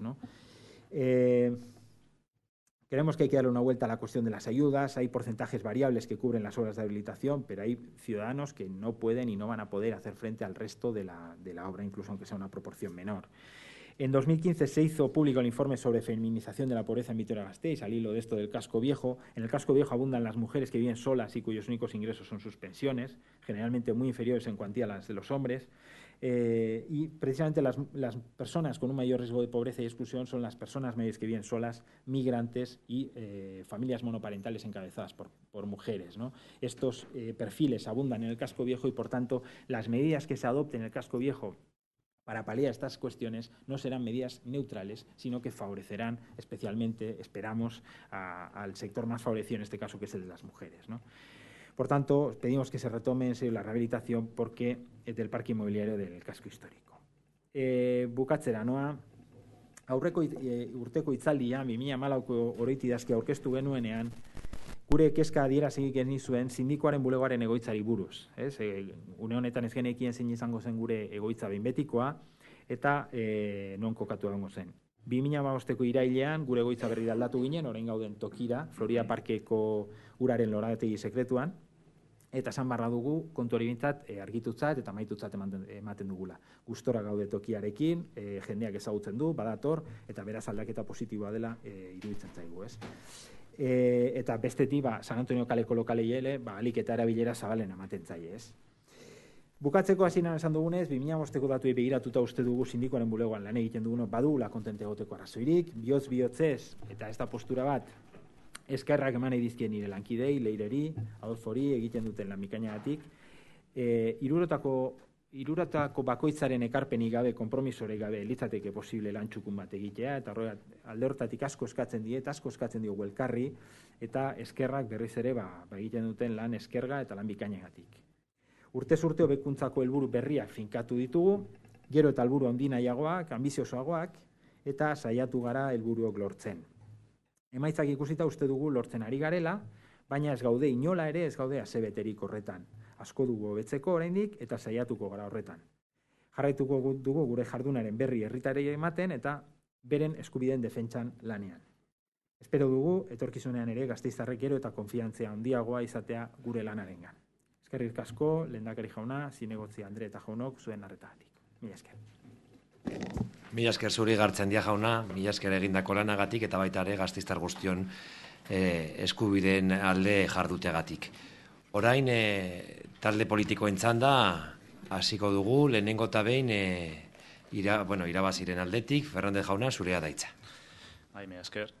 Bueno, en primer lugar, lógicamente, eh, agradecer la presencia del señor Chandía y alabar la labor de, del síndico ¿no? por, por esa defensa ¿no? de los derechos de, de, la ciudadanía de Vitoria-Gasteiz y también esa labor de, de información ¿no? y de tramitación de, de- de muchas eh, quejas e intermediaciones ¿no? que se suelen eh, eh, hacer y porque a, a la postre, y bueno, pues eh, en, en su intervención se ha puesto de manifiesto que, eh, a veces, igual con, con la mejor de las voluntades, pero es cierto que, que igual la distancia entre la institución y la ciudadanía en muchos aspectos todavía di- difiere, no solo en los tiempos que eh, sabemos ¿no? que los temas eh, burocráticos pues son- tienen su tiempo que no se corresponde ¿no? a las ansias de, de muchas ciudadanas que, acuden a su despacho para facilitar más información o- o reivindicar alguna cuestión que consideran injusta, más allá de si tienen o no tienen eh, razón, que después con las pesquisa- pesquisas pues se determinará,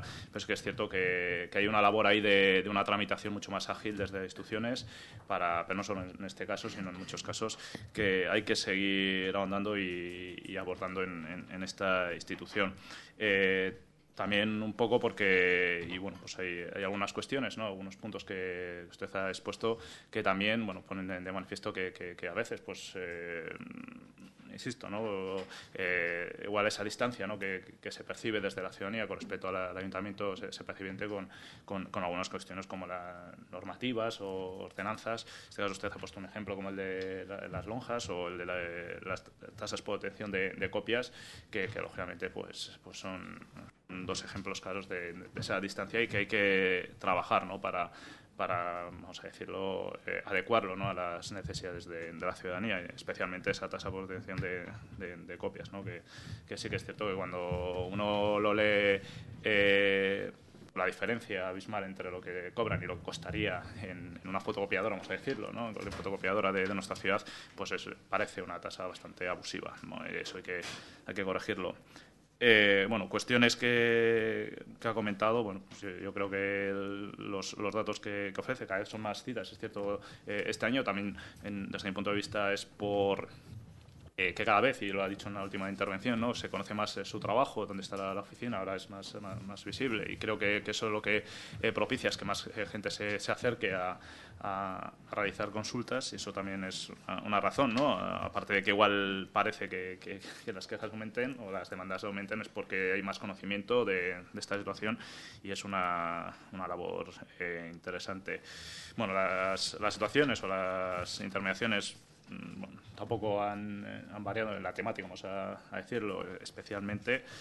Y, y sí que es cierto, ¿no? por, situar eh, alguna cuestión un poco concreta, ¿no? aparte de, esa tasa por obtención de copias, sí que es cierto que, hay algunas cosas que igual se eh, las, ha, comentado, pero aunque parecen nimiedades, pues, pues bueno, desde nuestro grupo sí que, sí que al, al leerlas, pues, pues eh, mm, no sea un poco de, no, no sé si pues sea o, de, cautela ¿no? a la hora de, de leer, ¿no? como la gestión de- del parking de, Aldave y Renfe, que es cierto que, que se hizo en los eh, años 90, que es cierto que, que con una muy buena voluntad, pero que hay que revisar esa, esa situación porque lo que no podemos hacer es eh, seguir precarizando condiciones de, trabajo con dinero público. ¿no? Entonces, en, esa situación hay que, hay que seguir desarrollando esta, esta situación.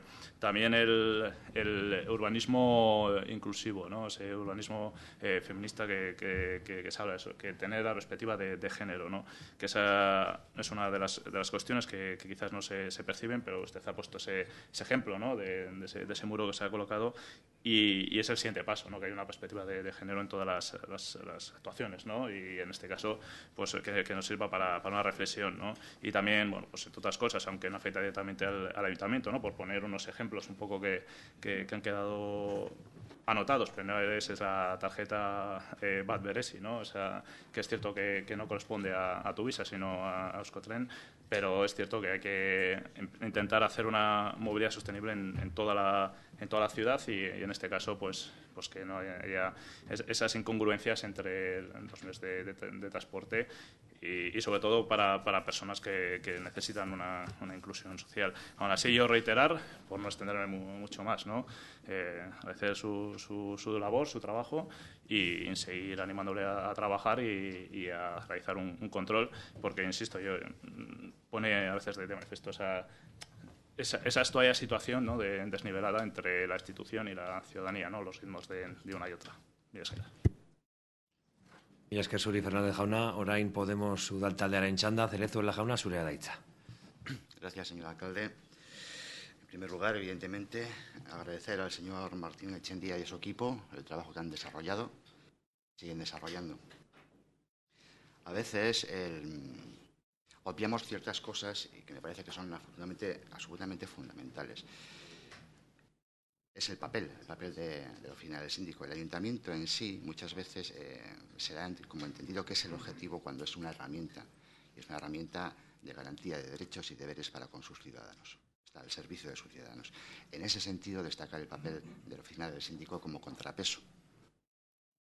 Eh, lo acaba de decir el señor Fernández. Eh, la institución pesa mucho y el ciudadano a veces muy poco. El contrarrestar ese peso nos parece absolutamente fundamental. Bien dicho esto, eh, y más allá de insistir en agradecer el informe que han realizado, sí me gustaría salirme un poco del discurso del agradecimiento y entrar en, en otras consideraciones, sobre todo de presente, hoy y de futuro. Entendemos desde, nuestra, desde nuestro partido que se están, corriendo, están llegando nuevos tiempos en el ayuntamiento a través de lo que considero, desde luego, uno de los eh, hitos fundamentales que va a ser de esta, legislatura, que son los procesos participativos y también las nuevas realidades eh, sociales y culturales eh, de Vitoria-Gasteiz. Me gustaría hablar de las dos cosas y del papel que entendemos que la oficina del síndico puede tener al respecto. En primer lugar, eh, en cuanto a los procesos participativos, y no me resisto a hacer un inciso, un pequeño KitKat en este momento, y es que nos hemos levantado con la noticia de la posible del planteamiento de recurso ante el Constitucional de la Ley Municipal Vasca, hecho que eh, repetí una y otra vez en los distintos grupos de trabajo y comisiones que cabía la posibilidad de que, se, de que saliese. Me harté de decirlo de ser que cuatro días después ha sucedido. Hecho este inciso, sigo con lo que quería comentar. Hablaba de procesos participativos y nuevas realidades sociales y culturales. Y de la adaptación necesaria también desde la oficina del síndico a, estos, a, a estas nuevas realidades.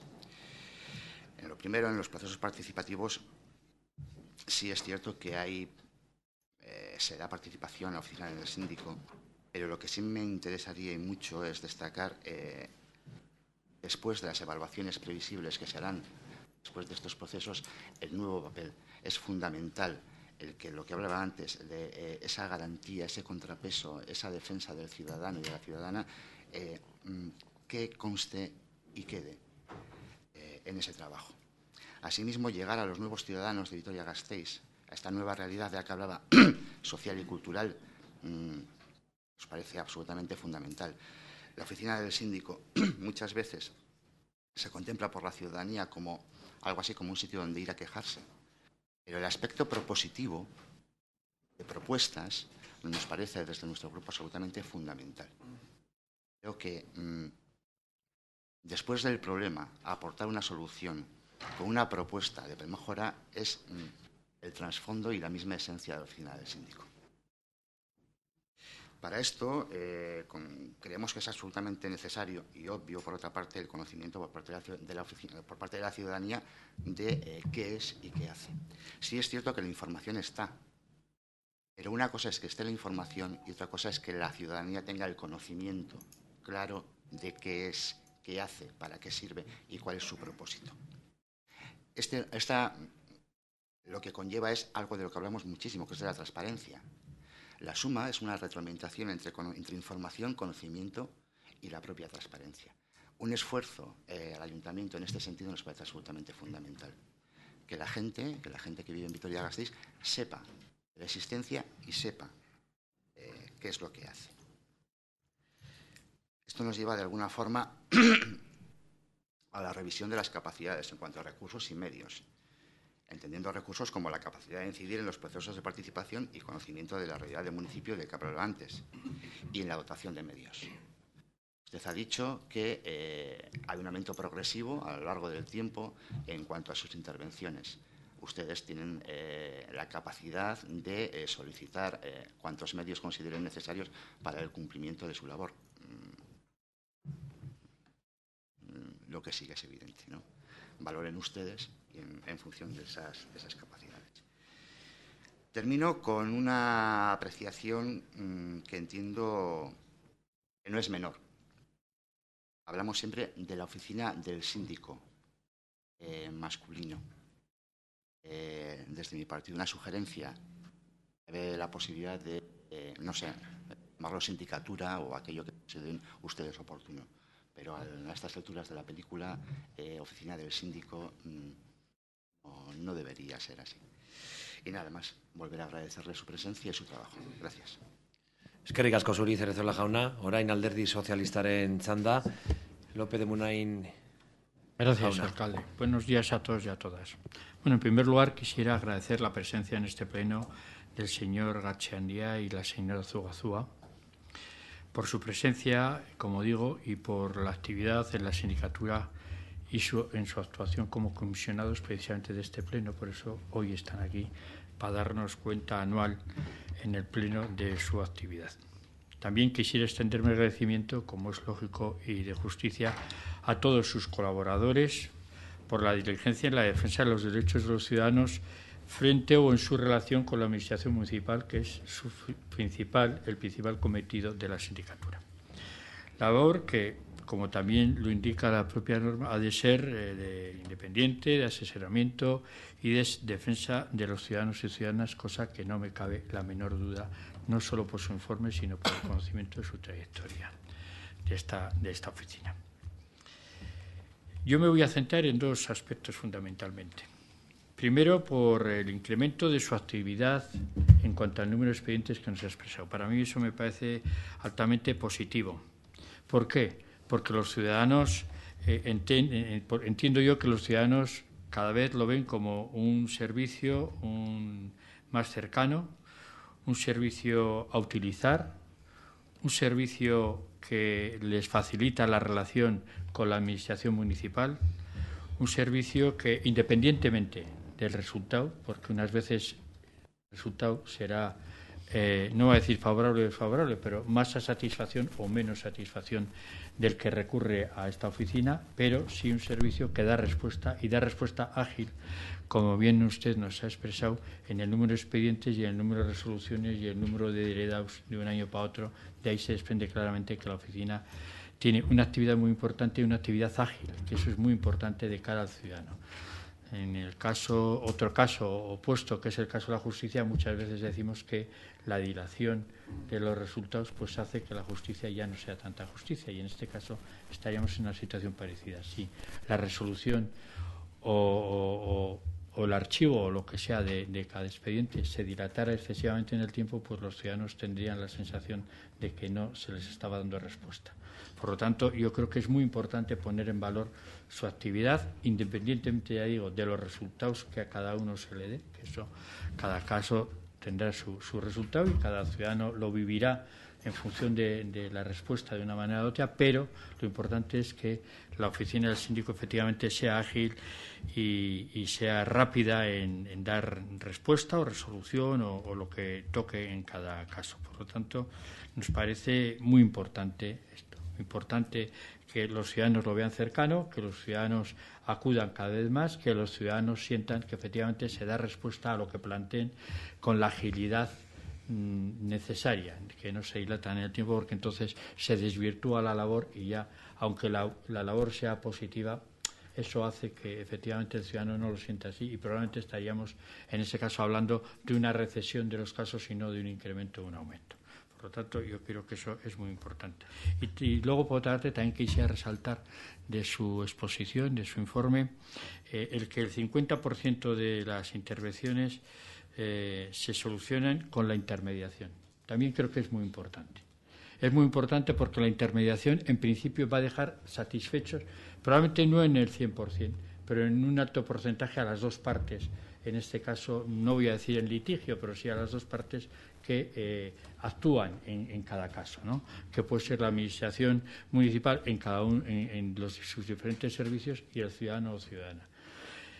No digo que estén mal el resto de, de, soluciones, los desestimientos, las recomendaciones, de menor peso, lógicamente, en su informe, pero está bien, pero no dejan siempre la satisfacción tan plena en las dos partes.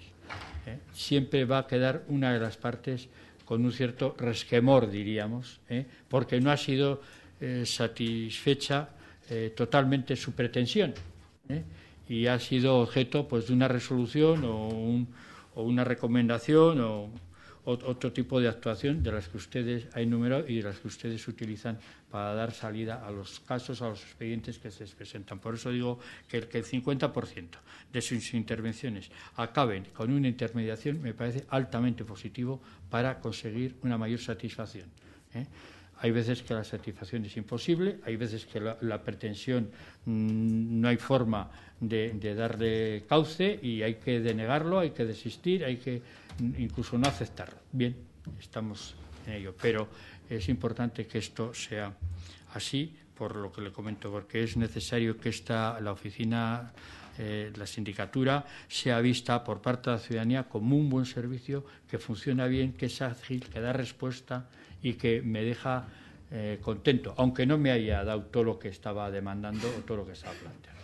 Pues eso me parece importante. Y luego creo que también es de resaltar, y creo que no hay mm, posibilidades de ninguna duda, eh, una cuestión que a mí me parece fundamental en la labor de la sindicatura, que es la independencia, la independencia o imparcialidad y eso lo demuestra que, y es que más gráfico no puede ser, y las matemáticas no pueden ser más eh, educativas en este sentido, que el 43% de los expedientes son aceptados y un 43% son rechazados. O sea, que, que no hay un sesgo.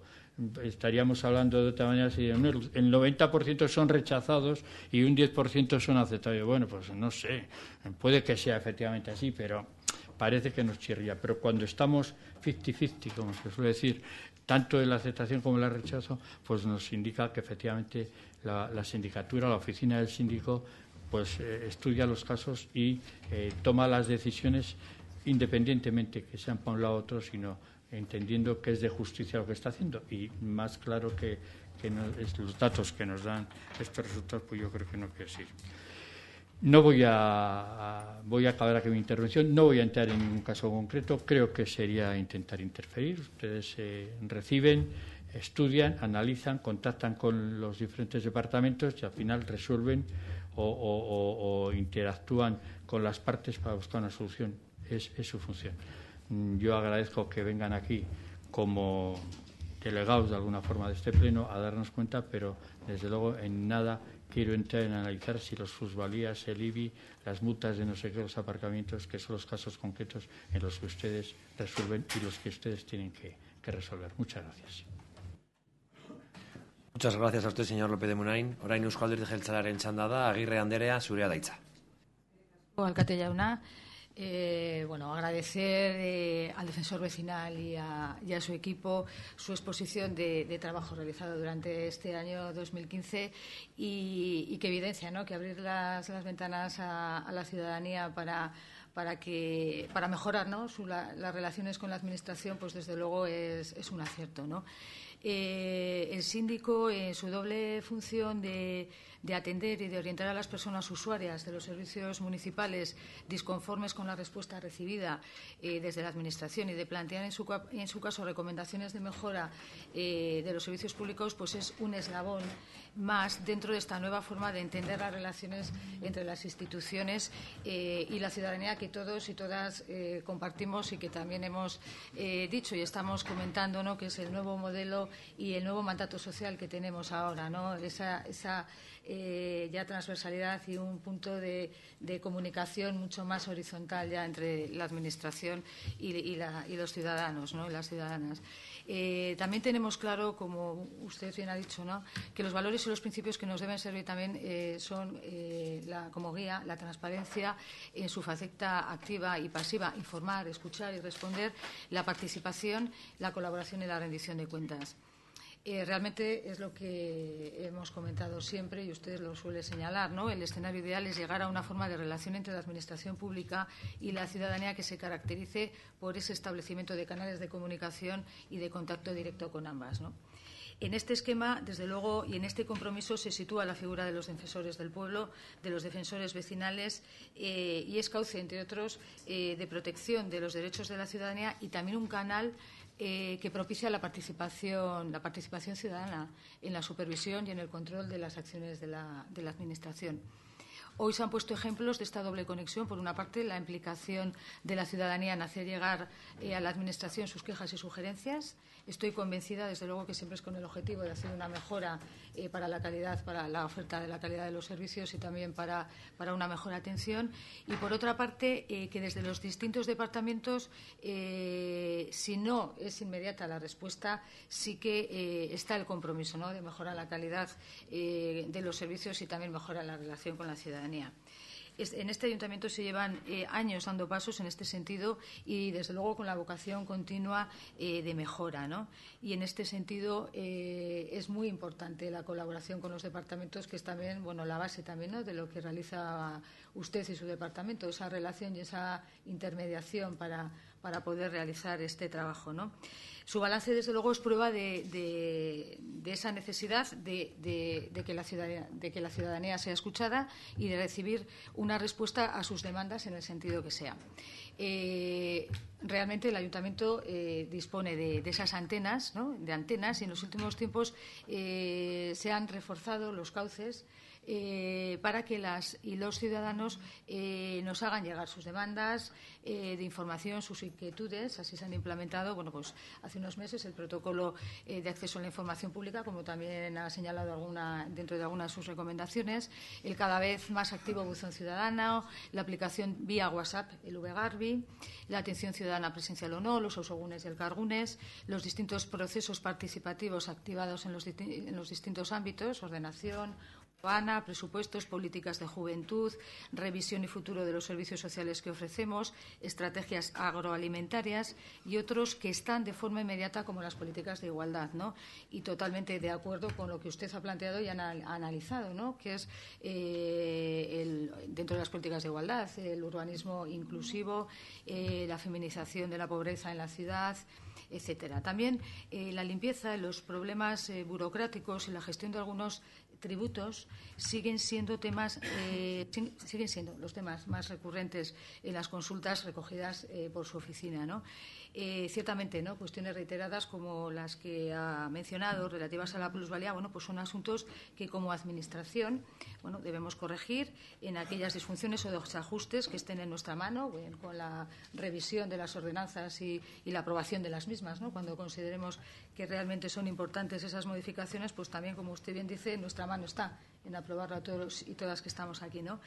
Eh, lo reclamamos, todo esto en la oposición lo seguimos defendiendo y, confío plenamente también que esto se, reconducirá, ¿no? Y entre otras cuestiones, pues también puede ser a través de la ponencia de fiscalidad activada, ¿no? Las percepciones sobre la limpieza de la ciudad es otra de las quejas históricas, pero no por ser repetitivas, desde luego son menos importantes.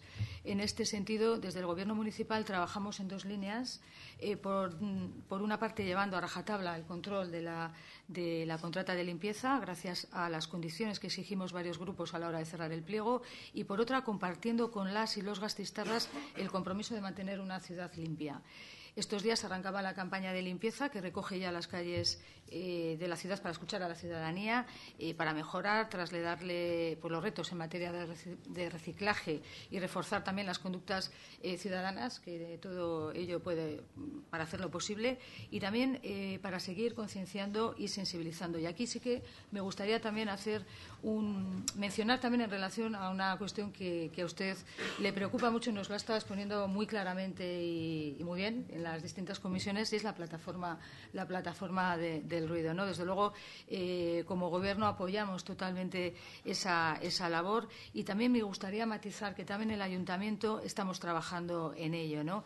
Eh, mencionar eh, la campaña de control de ruido que se hizo en el casco viejo eh, del 20 de noviembre eh, de 2015 al 10 de enero de 2016, en ocho fines de semana discontinuos, en colaboración con Policía Local, donde se vigilaron los bares, que son reincidentes en sanciones, y de paso los de alrededores.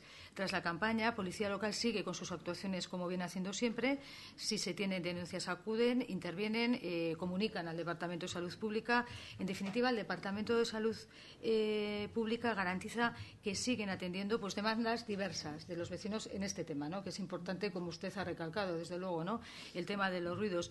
Eh, hay, por ejemplo, distintas casuísticas, por ser breve, ¿no? pues desde un vecino que denuncia los ruidos que le entran por las ventanas en su casa, eh, que dan un patio interior y tras varias mediciones y, visitas se ha determinado requerir a los establecimientos hosteleros que están debajo pues para que introduzcan las máquinas que meten ruido eh, dentro. Y luego también señalar que también se está actuando mm, al resto de la ciudad. Esto es totalmente compatible, desde con la comunicación que se pueda tener con la plataforma, pero me parece importante también señalarlo. ¿no? Eh, hay vecinos con quejas por ruidos eh, de distintos niveles que se están actuando y también hay muchos casos, también en el resto fuera del casco viejo, fuera de, de la ciudad. ¿no? La situación realmente de convivencia entre hosteleros y vecinos es difícil en el casco viejo y también en otros puntos de la ciudad.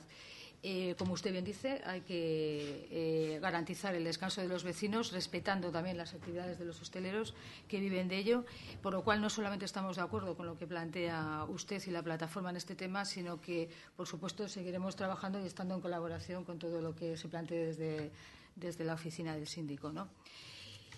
Y bueno, por finalizar y por no entrar en más cuestiones que usted ha mencionado y que desde luego ya eh, las ha dejado bastante claros, sí que también eh, algo importante que también se ha mencionado es las dificultades que en ocasiones provoca el, lenguaje burocrático eh, en nuestras relaciones con la ciudadanía y también es otro de los retos en los que estamos trabajando. ¿no?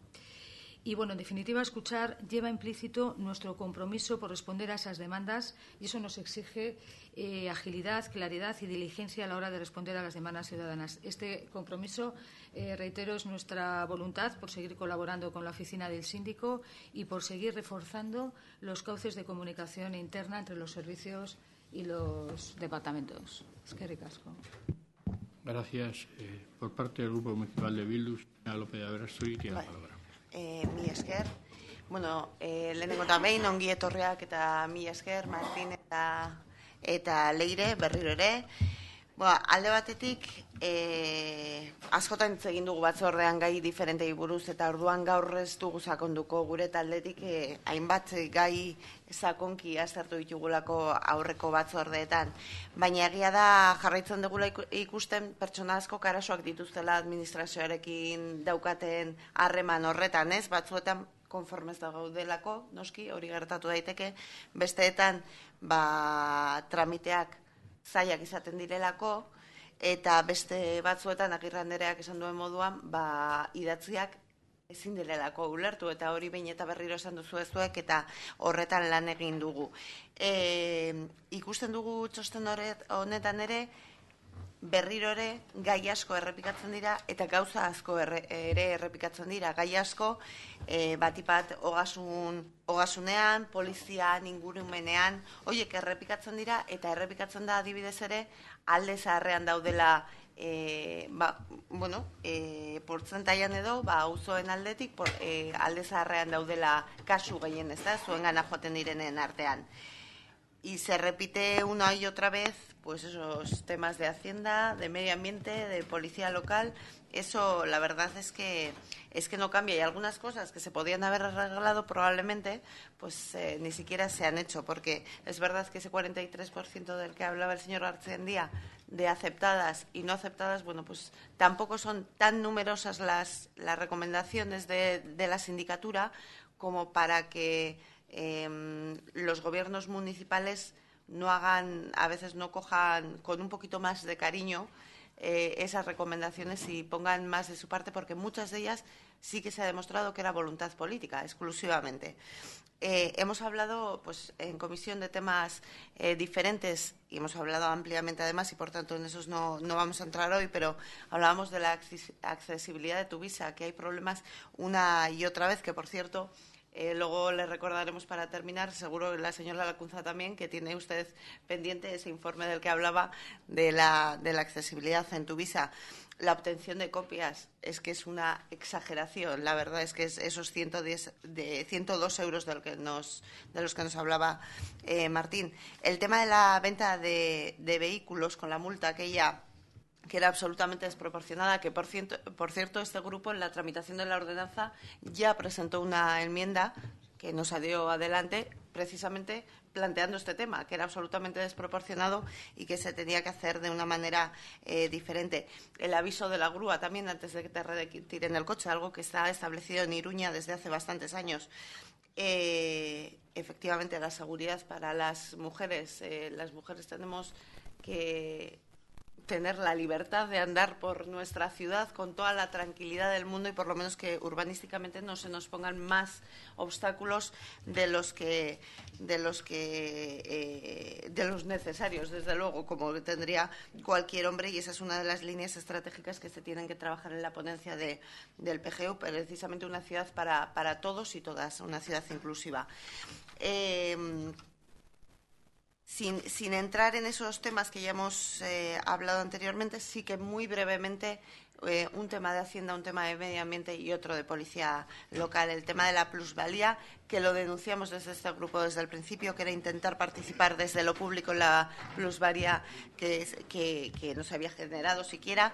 Y seguimos arrastrando una situación que ese es uno de los casos que decíamos que se podía hacer un poco más de caso porque precisamente es voluntad política y lo hemos dicho desde el primer momento. En cuanto al medio ambiente, eh, la de casos que hemos tenido con el ruido de las barredoras, llevamos, llevábamos meses denunciando que, que la flota esperada no se veía que habían, han llegado tardísimo, lo decíamos en la última comisión, y ahora lo que se necesita es que se haga un mantenimiento y un mantenimiento eh, bueno, que al final es lo que viene este grupo eh, a través del señor Miguel eh, pidiendo una y otra vez, es cumplir el pliego de FCC. Y también de policía, porque este, esto siempre tiene un apartado amplio en, en los informes de la sindicatura precisamente porque ustedes fueron los primeros que hablaron de aquellas, en aquel informe de actitudes chulescas que se habían dado en, porque en los numerosos casos que había habido en la legislatura anterior.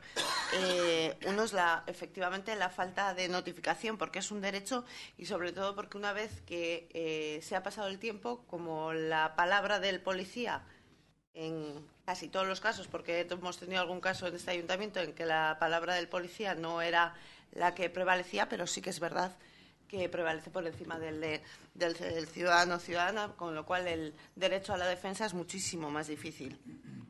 y seguiremos atentos con este tema eh, precisamente porque en las últimas semanas, y lo denunciábamos el otro día en la Comisión de Seguridad Ciudadana, le decíamos al señor Zapatero que estaremos muy atentos a que no vuelvan las actitudes eh, que hemos venido denunciando durante los últimos años, durante la pasada legislatura y parte de la anterior también. Eh, pues con actitudes desproporcionadas como se han dado en las últimas semanas, por ejemplo, en, las, en el barrio Judimendi, durante las, las fiestas y estaremos atentos, lo denunciaremos y además eh, para que no se repitan, obviamente. Eh, y como, como, decíamos, para no alargarnos en exceso y porque ya hemos eh, hablado ampliamente en comisiones de, de, todos los temas, sí que eh, vamos a recordar a la sindicatura los deberes que les habíamos mandado y que esperemos que lo veamos en los próximos meses. Eh, por una parte, ese informe extraordinario en cuanto a la accesibilidad de, de Tuvisa, que ya he dicho que lo, que están preparando. Había otro que viene de la legislatura anterior en cuanto a las condiciones laborales de los trabajadores y trabajadoras eh, que tienen de empresas contratadas por el ayuntamiento y eh, también pedimos otro informe, en, creo que fue en la última comisión, sobre el cumplimiento que se está dando de la ordenanza de protección y defensa de los animales, que creemos que efectivamente se habían visto algunos casos que, bueno que estaba claro que no se estaba eh, cumpliendo la ordenanza y por tanto que sí quisiéramos que presentara estos tres informes. Es que. Gracias. Tiene la palabra por parte del Grupo Municipal del Partido Popular señora Cunza. Muchas gracias, según Angustio. Y bueno, bienvenidos eh, Leire y Martín, y gracias nuevamente por presentarnos este informe que aunque eh, lo tratamos todos estos asuntos en comisión, pues siempre viene bien tener esa visión del ejercicio, qué cosas eh, nos han hecho bien, en qué están incidiendo los ciudadanos y la capacidad de reacción que tenemos nosotros. Y yo quería acabar, o sea, empezar por el final del informe, aunque usted lo ha dicho en primer lugar, los datos estadísticos, porque yo creo que son positivos en cuanto a la pluralidad de personas que acuden al servicio, hombres, mujeres, de diferentes edades, de diferente formación, eh, estudios, yo creo que eh, eso quiere decir que es un, un servicio abierto a la ciudadanía en general y también ese incremento de expedientes yo lo considero en sentido positivo como una mayor confianza, un mayor conocimiento de su figura. Y, yo quiero destacar aquí que ustedes no son un ausogune, no son un elcargune, pero también es participación ciudadana, porque detrás de cada, expediente que abren hay un ciudadano con un problema, ustedes emiten un informe, unas recomendaciones y en muchos casos hemos visto que eso se ha, eh, se ha trasladado a un cambio en la normativa municipal, eh, foral. Por eso creo que esto también es participación ciudadana, que a veces nos centramos en los órganos que hay y, sin embargo, esto es un claro ejemplo de participación ciudadana. Y esto eh, lo quiero hilar con una primera idea o propuesta de cara al presupuesto 2017. Eh, el Gobierno municipal eh, que valore la posibilidad de incrementar tanto los recursos personales y económicos, o sea, como los económicos del servicio. ¿Por qué? Porque lo ha dicho la señora López Verasturi. Eh, le, pedimos, por favor, ese informe de, de Tuisa, pero somos conscientes que, claro, eh, con el equipo y los medios que tiene, que, que son súper eficaces y lo sabemos, es que no da, no da a todo y seguramente le gustaría responder a los ciudadanos pues con mayor celeridad, eh, hacer más visitas. Entonces yo creo que está más que justificado. Además, el señor Hurtara en el otro día en el debate de la ciudad ya lo dijo. A partir de julio, eh, creo recordar, se va a formar el Consejo, se va a constituir el Consejo por la Municipal por la Transparencia. Nueva función junto al señor interventor entonces, claro, aquí los deberes que les ponemos todos son muchos, pero yo entiendo también que los recursos personales para un trabajo eficaz también son importantes, con lo cual la primera idea es ese refuerzo de personal y también lo económico, que hoy no lo ha dicho, pero en comisión sí que salió a la luz y nos habló de un congreso que hay en, en, octubre de formación, que es importante también formarse, pero también es importante trasladar y exportar el know-how que tenemos nosotros como Vitoria con la sindicatura y con las buenas prácticas que hacemos en la ciudad y para eso también, bueno, pues eh, a veces hay invitaciones, pero normalmente hay que aportar dinero y pagar gastos para poder hacerlo. Entonces, esa primera idea de, bueno, valorar entre todos la posibilidad de reforzar el, servicio, porque los datos además lo avalan, está más que justificado y porque además la ciudadanía es una forma importante de participar, aparte de las otras herramientas, y además eh, ustedes en las estadísticas lo ponen, el 95% es, eh, eh, considera que el trato y la resolución de los problemas ha sido satisfactorio, con lo cual ya más argumentos objetivos yo creo que... Otra segunda idea, eh, aunque ya bueno, entre todos ya lo hemos comentado todos, o sea, ya hemos comentado todos los aspectos que además pues tenemos la oportunidad de tratar en comisión, mm, es el tema de, las aportaciones a las, a las ordenanzas fiscales.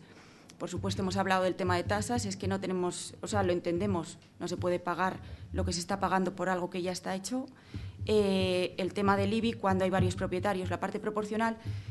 Pero yo sí que me quiero parar en el tema de la plusvalía. Eh, eh, cuando, o sea, en el impuesto sobre el, el, incremento de valor en los inmuebles con los problemas que ha habido con los valores catastrales. Hasta ahora los problemas era que, bueno, pues, o sea, que, estaban desactualizados esos valores catastrales y, de hecho, hay muchos expedientes que se han abierto en ese sentido. Pero ahora ya los tenemos eh, actualizados. Y lo que nosotros hemos denunciado eh, en este último periodo es que no entendemos ese retraso injustificado en comunicar a la ciudadanía ese valor catastral apoyándonos en que queremos saber el valor del tipo, cuando es un ejercicio de transparencia, otro de los valores fundamentales que, que siempre, con el que siempre intentamos tratar los temas, y que además usted en el informe, que yo entiendo hoy hay un montón de temas y no lo ha mencionado, sí que aparece la norma foral en la que nuestra norma foral, la 4289, la que nos dice que los valores catastrales, no el tipo, deberán ser comunicados a los ciudadanos entonces, nosotros siempre decimos, queremos más competencias, queremos gestionar más, pero es que precisamente lo que somos competentes, en, en el caso concreto de Álava eh, y en el territorio del País Vasco, es en la fiscalidad y estamos basándonos en una resolución del Consejo de, Diputad de Diputados de la Diputación que tiene menos valor o sea, normativo que la norma foral. Es un ejercicio de transparencia. Yo creo que los ciudadanos, y más que esto está ahora eh, eh, en el orden del día, Queremos saber lo que cuestan nuestras viviendas, pero es que no solo ya es una cuestión del IBI, es de más impuestos, en este de la plusvalía, en el de transmisiones patrimoniales, actos jurídicos documentados, sucesiones, donaciones. Es información, independientemente que nos esté costando más o menos llegar a qué tipo se, se aplica, aunque desde luego eh, no, es no es este el foro, pero sí que me gustaría, por la parte que le puede tocar, que como no nos pongamos de acuerdo en el tema de los impuestos, es posible que reciba muchas quejas porque nos estamos fijando, como se ha dicho muchas veces, ingresos y gastos y tiene que estar equilibrado. Pero aparte de eso, tan importante es una gestión eficaz, sostenible, eh, eficiente, inteligente, que en muchas ocasiones decimos somos Smart City en lo tecnológico, pero también hay que ser inteligente en la gestión, en, apoyar proyectos en los que luego, proyectos de ciudad estratégicos que reporten ese ingreso, no solamente que, nos toque a los ciudadanos eh, incrementar el ingreso, no, no. Que sea de forma natural, apostar por lo que genera empleo, por lo que genera actividad. Y yo creo que ese debate también es importante y lo digo a colación de, que si no nos ponemos de acuerdo y cambiamos de estrategia, es posible que los ciudadanos vayan a la sindicatura diciendo, pero ¿qué pasa aquí? O sea, solo tengo obligaciones y, mis derechos. Pero bueno, o sea, es otro debate. Luego, eh, por ir acabando ya, el, señor eh, Zapatero anunció bueno, la OPE de la Policía Municipal, la futura eh, OPE. Nosotros tenemos un informe reciente que ya tratamos en el pleno de hace un año, el de bomberos, y sí que me, me, gustaría recordar que, bueno, de cara a la preparación de esas oposiciones, yo creo que se, que se hicieron unas, un informe muy, o sea, muy positivo en cuanto a consideraciones que teníamos que tener en cuenta y que quizás sería bueno contemplarlas, porque no solamente hablábamos de temas de igualdad, Mm, no de las pruebas solamente físicas, sino bueno, pues que una persona con dificultades de aprendizaje pues tuviera las mismas oportunidades y también en cosas ya más de contenido de la propia posición. Así que quería aprovechar para poner en valor ese informe que ustedes hicieron de cara a esa posible mm, futura eh, OPE de Policía Municipal. Ya, pues es que yo creo que ya lo hemos dicho todo. Eh, yo sí que, señor Hurtaran, usted en, en una rueda de prensa creo que dijo que sentía vergüenza cuando venía alguien de fuera y veía el estado de los autobuses. Y hoy el señor Garchandía ha dicho, bueno, pues estamos trabajando en el tema de la accesibilidad. A mí eso sí que me da vergüenza, el tema interno del autobús, no que por fachada sea un autobús viejo, que yo es lo que le entendí en la rueda de prensa. Me preocupa eh, eh, que el autobús sea eh, igual para todas las personas. Pero me preocupa más como vitoriana me preocupa más como vitoriana el tema de la limpieza. Sí, señora Melgosa, porque esto está relacionado también con turismo. Porque si por algo nos conocían en Vitoria era porque éramos una ciudad limpia. Lo decían en todos los sitios. Y nosotros los vitorianos es que nos, nos entraba el orgullo de decir, hombre, pues es que somos una ciudad limpia. Y yo entiendo que, o sea, que aquí la responsabilidad no solo es del, del, gobierno municipal, del ayuntamiento, ni de los operarios de limpieza, porque hay parte de educación, de respeto, porque cuando se tira una bolsa de, al suelo, cuando se tira una colilla, es al final una falta de respeto a los demás. O sea, la responsabilidad no es del ayuntamiento, es de cada uno de nosotros, como esas actitudes chulescas que puede tener ciertas personas de la policía municipal, pero el servicio de la policía municipal para un vitoriano es fundamental para que vayan bien las cosas. O sea, que parto de que la limpieza depende de las personas, pero sí que es cierto que en este último periodo la limpieza no, ha funcionado. No sirve de nada plantar eh, petunias en el centro de la rotonda si esa rotonda es que era imposible ver las petunias porque la, hierba estaba... Entonces yo creo que bueno que hay capacidad de reacción, pero verdaderamente yo como vitoriana y eso es imagen de ciudad y es de lo que nos tenemos que bueno que, valorar y que es importante. Entonces bueno pues como todo tenemos capacidad de reacción, pero que, bueno que, que no hemos estado yo creo que a, a la altura de las circunstancias.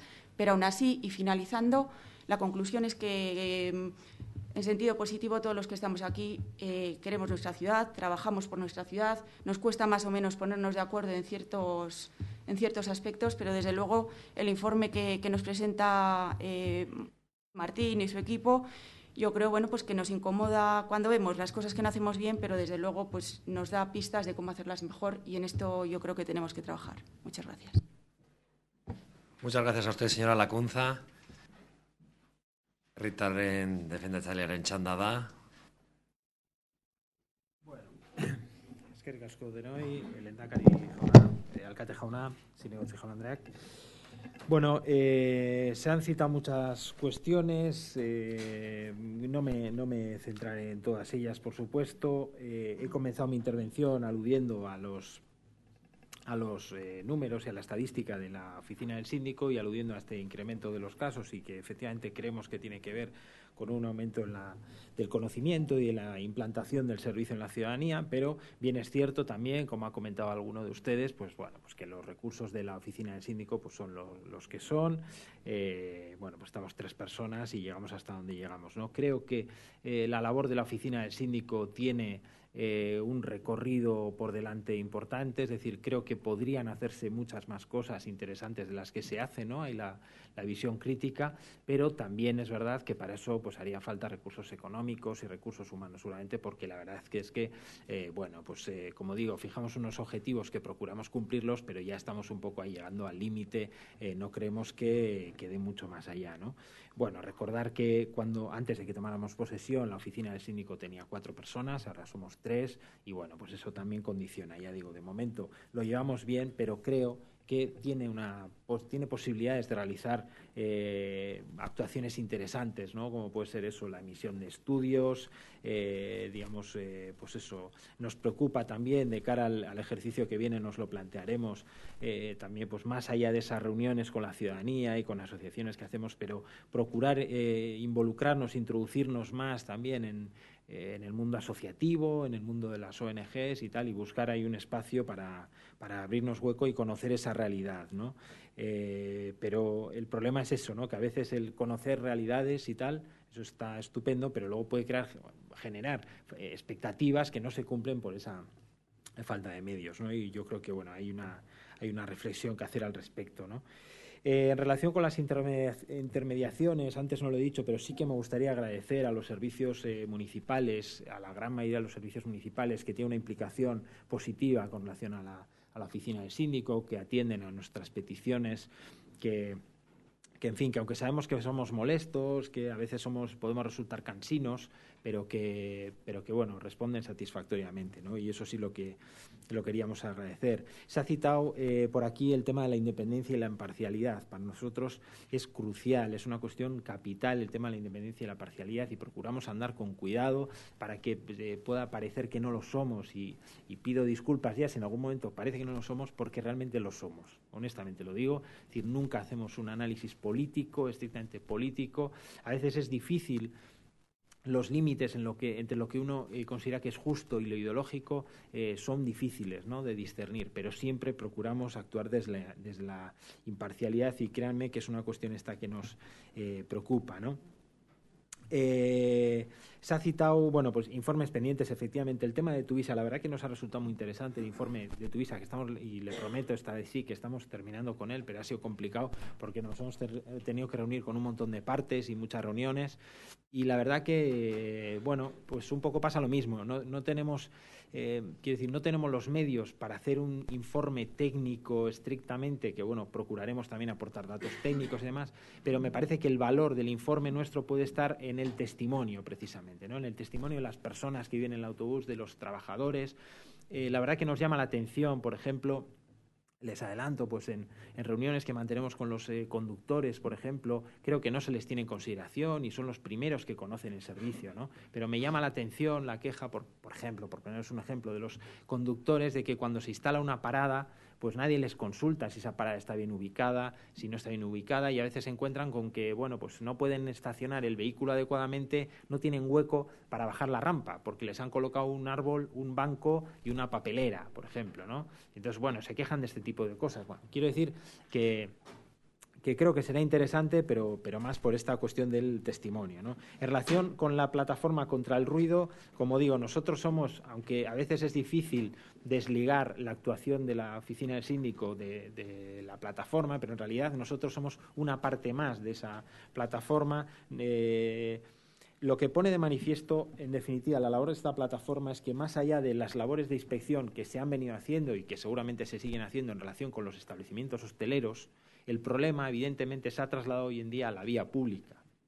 Con la ley antitabaco, ahora que viene el buen tiempo, las terrazas, veladores, el problema está en la vía pública. Entonces, es difícil de, atacar, de atajar ese problema si no lo hacemos a través de la sensibilización de la ciudadanía, ¿no? Porque más allá de que el, el establecimiento el PAF, el bar, esté bien insonorizado y cumpla la normativa, si luego la gente sale fuera y monta unos escándalos eh, impresionantes, pues claro, es imposible eh, que, los, eh, que los vecinos puedan descansar. Y me gusta recordar en este sentido que el, Tribunal Constitucional, la jurisprudencia ha sido clara al decir que el ruido es una intromisión en la, intimidad familiar y es, una, es una forma de violación del domicilio también. ¿no?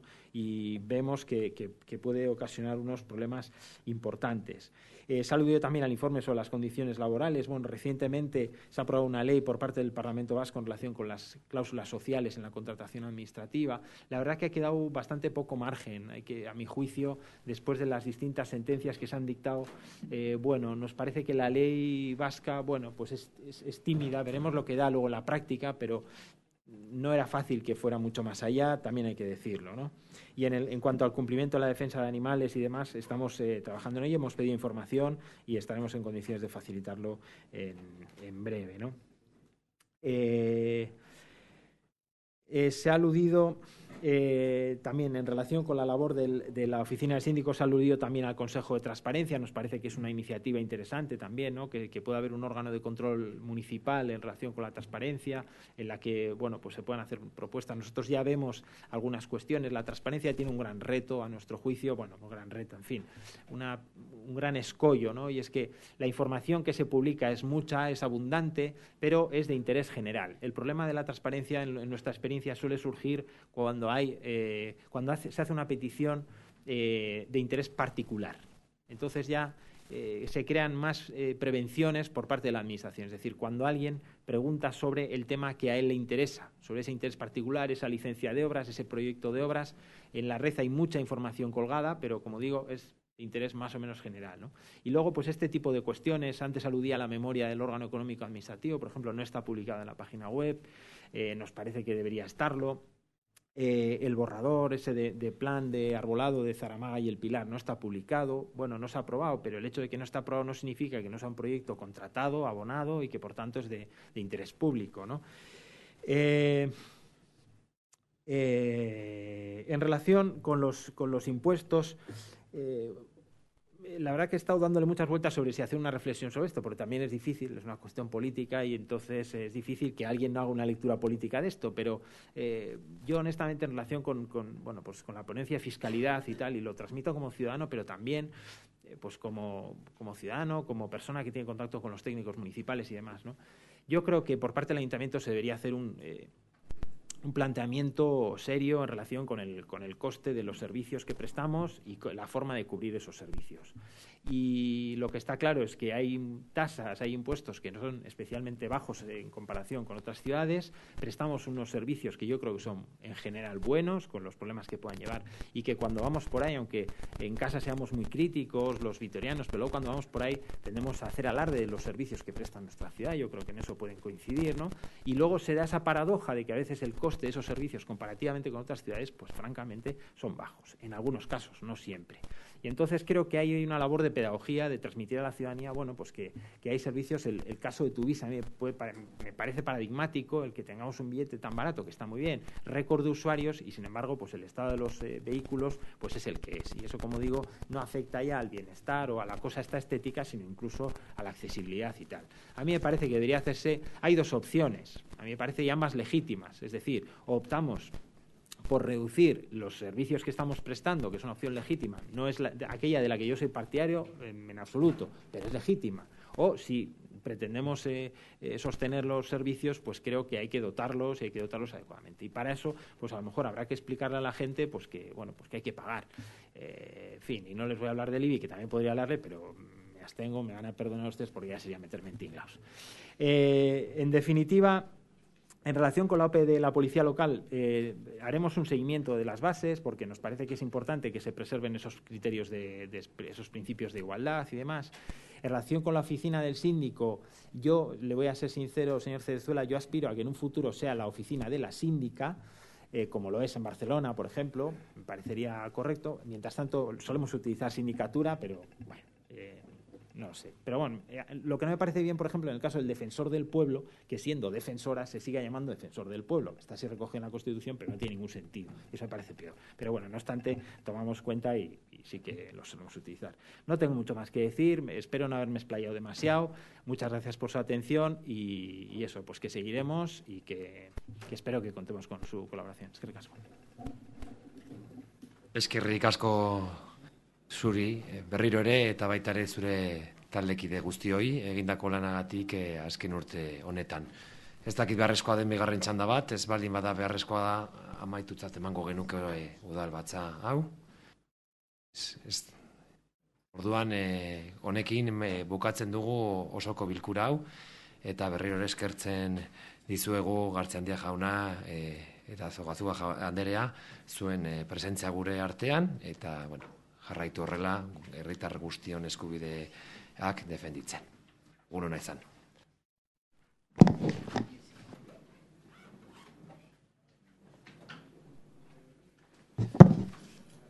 Vamos a hacer pero un, receso de, tres minutos. Tres minutos para lo justo.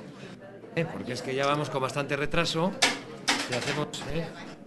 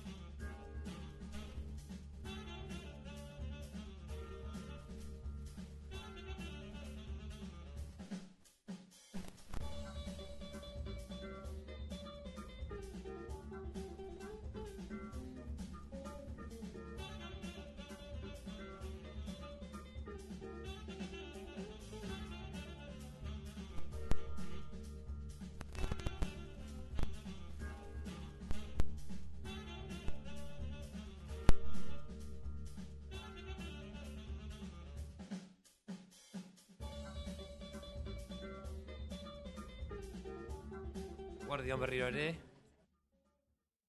Hasiko gara aparteko osoko bilkura hau. Printzipio sei puntu ditugu gai zerrendan, eta bitaldek eskatu diatea posibla den zeigarren puntua, lehenengo puntura eramatera. Beraz, ez baldin badago problemarik, eztabaidatuko genuke e, zeigarren puntua e, lehenengo, eta gero ja jarraituko genuke gai zerrendarekin. Baldago arazorik? Bueno, pues ez baldin badago arazorik horrela egingo dugu. Beraz, e, hasierako nespea ematea kompromisosko kreditua sortuz e, aurrekontu aldatzeari, Eusko Jaurlaritzaren, Araba Foru Aldundiaren eta Gasteizko Udalaren arteko lankidetza hitzarmenerako, Gasteizko garraio publikoa gokitzeko garraio bide publiko kolektibo eta azken milakoen sistema multimodal integratu eta osorik elektrifikatua sortze aldera, zeigarren dosierra rekin hasiko gara, e, idazkari nagusia mesedez, posiblea baldin bada.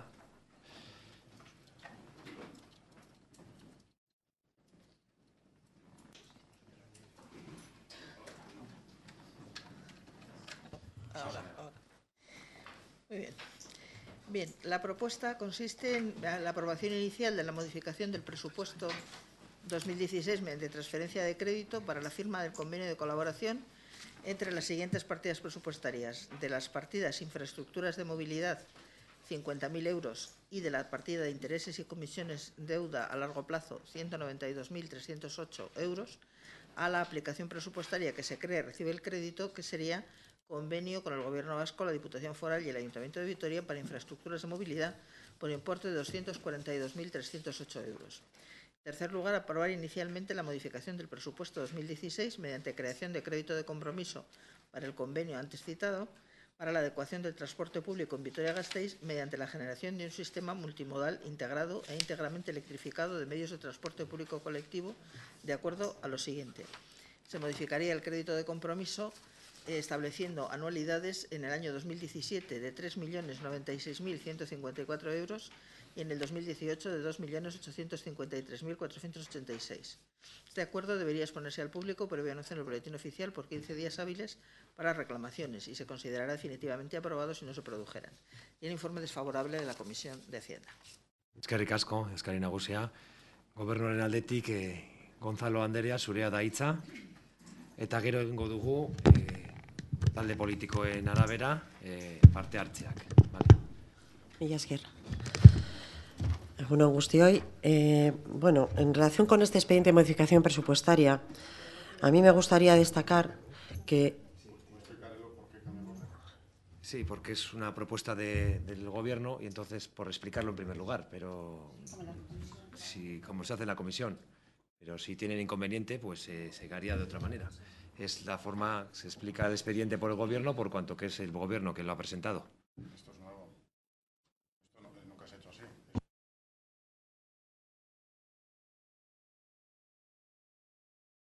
No hay en el reglamento ninguna. No hay en el reglamento No me voy a enredar en las formas, eh, así que, señora Gonzalo, espere autoturno. Empezamos de menor a mayor, porque desde luego que no vamos a volver a enredarnos en, en cuestiones menores. Señor eh, Fernández, es su turno. Vale, mira, Esker, bueno, eh, centrándonos en la, en la cuestión, lo que está claro, lo ha dicho la, la propia secretaria, es un informe desfavorable que se ha traído aquí, es decir, que no cuenta eh, a priori con eh, el visto bueno de, de la, mayoría de, de este pleno, porque entendemos, por lo menos desde el grupo desde Irabasi, que no se ha respetado el, el- el convenio, que el acuerdo que llegamos en el mes de diciembre.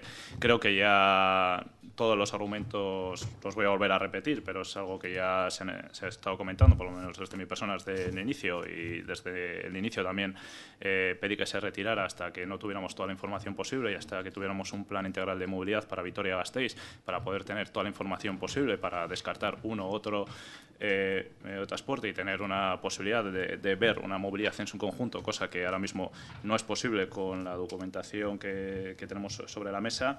Eh, dicho todo esto, también porque cuando hablamos de, prioridades, aquí las prioridades las está marcando una vez más el, Gobierno vasco con sus planes de, movilidad y no la ciudadanía de Vitoria-Gasteiz. Y entre ellos pues está eh, el tema de ampliar hacia, el sur, hacia las universidades del tranvía. Es un proyecto donde hablando de prioridades, cuando hablamos de prioridades, ahora mismo existen otras prioridades en cuanto a movilidad, que creo que todas estamos de acuerdo en, la campaña electoral y después al inicio de, la legislatura, que era la conectar eh, los nuevos barrios, eh, y Zabalgana, cosa que, ahora las prioridades eh, van hacia otro lado y también porque entendemos, la gente que, nos hemos reunido con las vecinas y vecinos eh, afectados, que hay una resistencia vecinal, aparte de componentes técnicos que eh, bueno, pues eh, ponen en cierta o, generan eh, perturbaciones o pueden generar perturbaciones o podrían generar perturbaciones en algunas zonas, ya que el tranvía circularía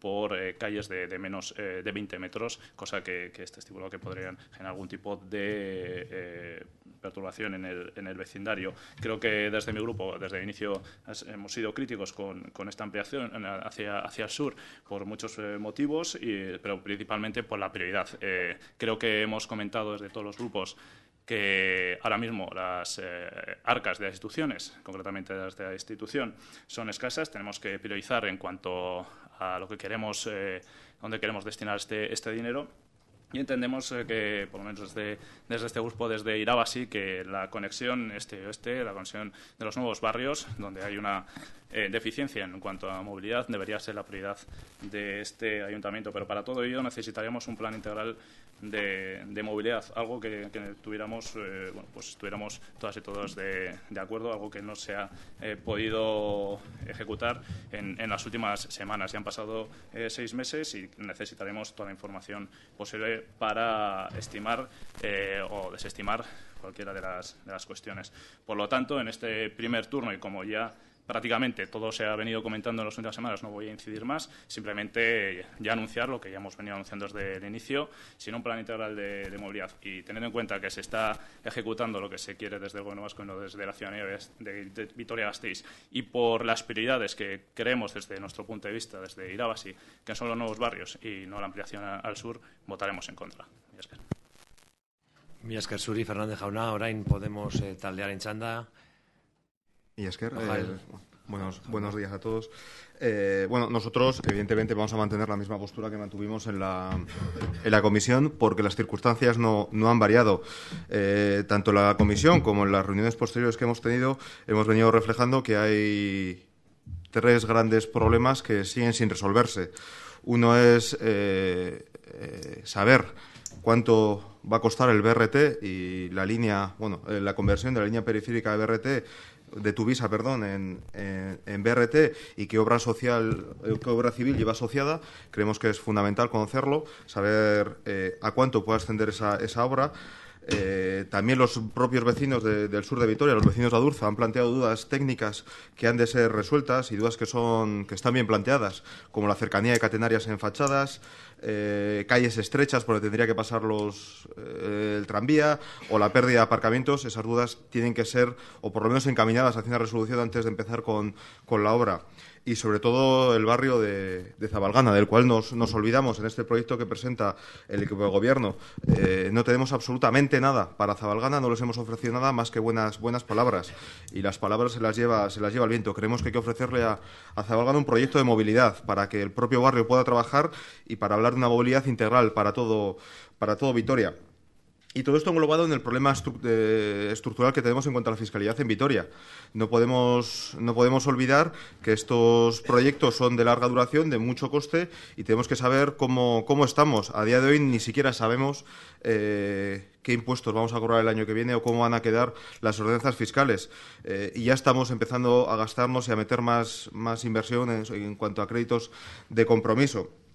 Y, por último, ya y para, y para acabar, nosotros echamos en cara al equipo de gobierno que tuviera poca proactividad para llegar, para llegar a acuerdos. Nosotros hoy vamos a dar un no, pero no para cerrar el proyecto, sino para abrirlo mañana desde mañana no tenemos ningún problema en volver a, abrirlo porque creemos que si arrojamos luz o si ofrecemos luz a todos los problemas que, he dicho, podremos llevar el, nosotros nos mm, llevaremos el, proyecto a la Asamblea y, se votará para poder darle lo que ya a día de hoy tienen, tenemos un no porque no se ha cumplido con el convenio que nos, que nos vinculaba. Muchas gracias. Eskerrik asko zuri, Inojal jauna, orain alderdi sozialistaren txanda, López de Munain jauna zure daitza. Gracias. bueno, yo, queridos compañeros y compañeras de corporación, yo os pediría que lleguemos a un acuerdo. No entiendo cómo podemos pasar del acuerdo de diciembre a un desacuerdo ahora, salvo que haya algún otro tipo de interés. Estamos entre campañas electorales, acaba una, empezó otra, no sé, no, no encuentro otra explicación que no seamos responsables, que no intentemos llegar a un acuerdo para que Vitoria no se pare, para que siga avanzando, para que no suceda lo que ocurrió hace unos cuantos años, que por una situación similar eh, otra ciudad se llevó lo que en principio tenía que haber sido para Vitoria y después a la vuelta de los años, de los años hemos tenido que retomarlo con un coste sobreañadido que no lo hubiéramos tenido al inicio, con lo cual no quiero pensar que eso vaya a pasar. Creo que como corporación tenemos responsabilidades y una de las responsabilidades es hacer que la ciudad evolucione, que avance, que demos los mejores servicios posibles a los ciudadanos y no que por intereses externos a, lo que es la intento de la corporación, pues eh, paremos la actividad, frenemos, evitemos que proyectos necesarios para la ciudad puedan llegar a feliz término. Nosotros, eh, con lo que aquí se está diciendo, nosotros fuimos, yo creo que los primeros en decir sí al tranvía Zabalgana, sí al tranvía Salburúa, sí al BRT, porque entendemos que son avances que tenemos que darlos en aras a la, mejor comunicación dentro de la ciudad, en aras a la sostenibilidad, en aras a la no contaminación. Eh, hay varios aspectos que a mí me parece, a nosotros nos parece que aconsejan que efectivamente Vitoria inicie este camino y, avance en él, incluso hasta la bici eléctrica, es decir, que es que es un buen camino, es estar con los tiempos y ir avanzando. Que nos quitemos esa especie de complejo que siempre hemos tenido con respecto a ciudades de nuestro entorno ¿eh? y que tomemos eh, la bandera y demos un paso adelante. Luego nos lamentamos de lo mucho que avanzan los de Bilbao o los de Donostia los de no sé dónde. Claro, pero es que yo no oigo, en estas ciudades no oigo los líos que aquí se oyen en cuanto a decir vamos a hacer y ya está, la plataforma contra el vamos a hacer. Yo veo que en estas otras ciudades efectivamente tienen servicios, evolucionan, hay inversiones, trabajan, pero no oigo todos estos líos, no oigo todo este no por el no en cuanto dicen vamos a, ya está el no. O sea, seamos conscientes que tenemos una responsabilidad importante con nuestros ciudadanos y nuestras ciudadanas que nos han votado, y es que la ciudad avance, que la ciudad se modernice, que la ciudad no se pare, que tenga los mejores servicios posibles. Y esta es una oportunidad que tenemos, porque además disponemos de un compromiso de financiación importante por parte de otras instituciones. Y hay un riesgo de que si nosotros no avanzamos, esto se pueda parar, esto se vaya al traste y después pues estemos en el día de la marmota otra vez, que dentro de cinco, seis, siete años volvamos a plantear y entonces ya no tengamos los recursos a nuestra disposición que en este momento tenemos, como digo, que ha pasado en esos momentos y los que yo no quisiera que se vuelvan a repetir. Por lo tanto, nosotros decimos sí a que de una vez por todas seamos capaces de olvidar esos intereses legítimos, pero que en este caso eh, no vienen a cuento, yo creo, intereses políticos y solo hagamos caso de los intereses de la ciudadanía, de los vitorianos y las vitorianas de Vitoria. Por lo tanto, yo os ruego, os pido que hagamos un esfuerzo y que apoyemos para que apoyemos lo que aquí se nos está proponiendo por Ruta de Cendia para que efectivamente Vitoria evolucione, avance y no se quede atrás y no tengamos que estar permanentemente mirando alrededor y diciendo todo va para allá o todo se hace allá y aquí no se hace nada. Gracias. Gracias a usted, señor López Munain. Turno del Grupo Nacionalista, señora alkate jauna.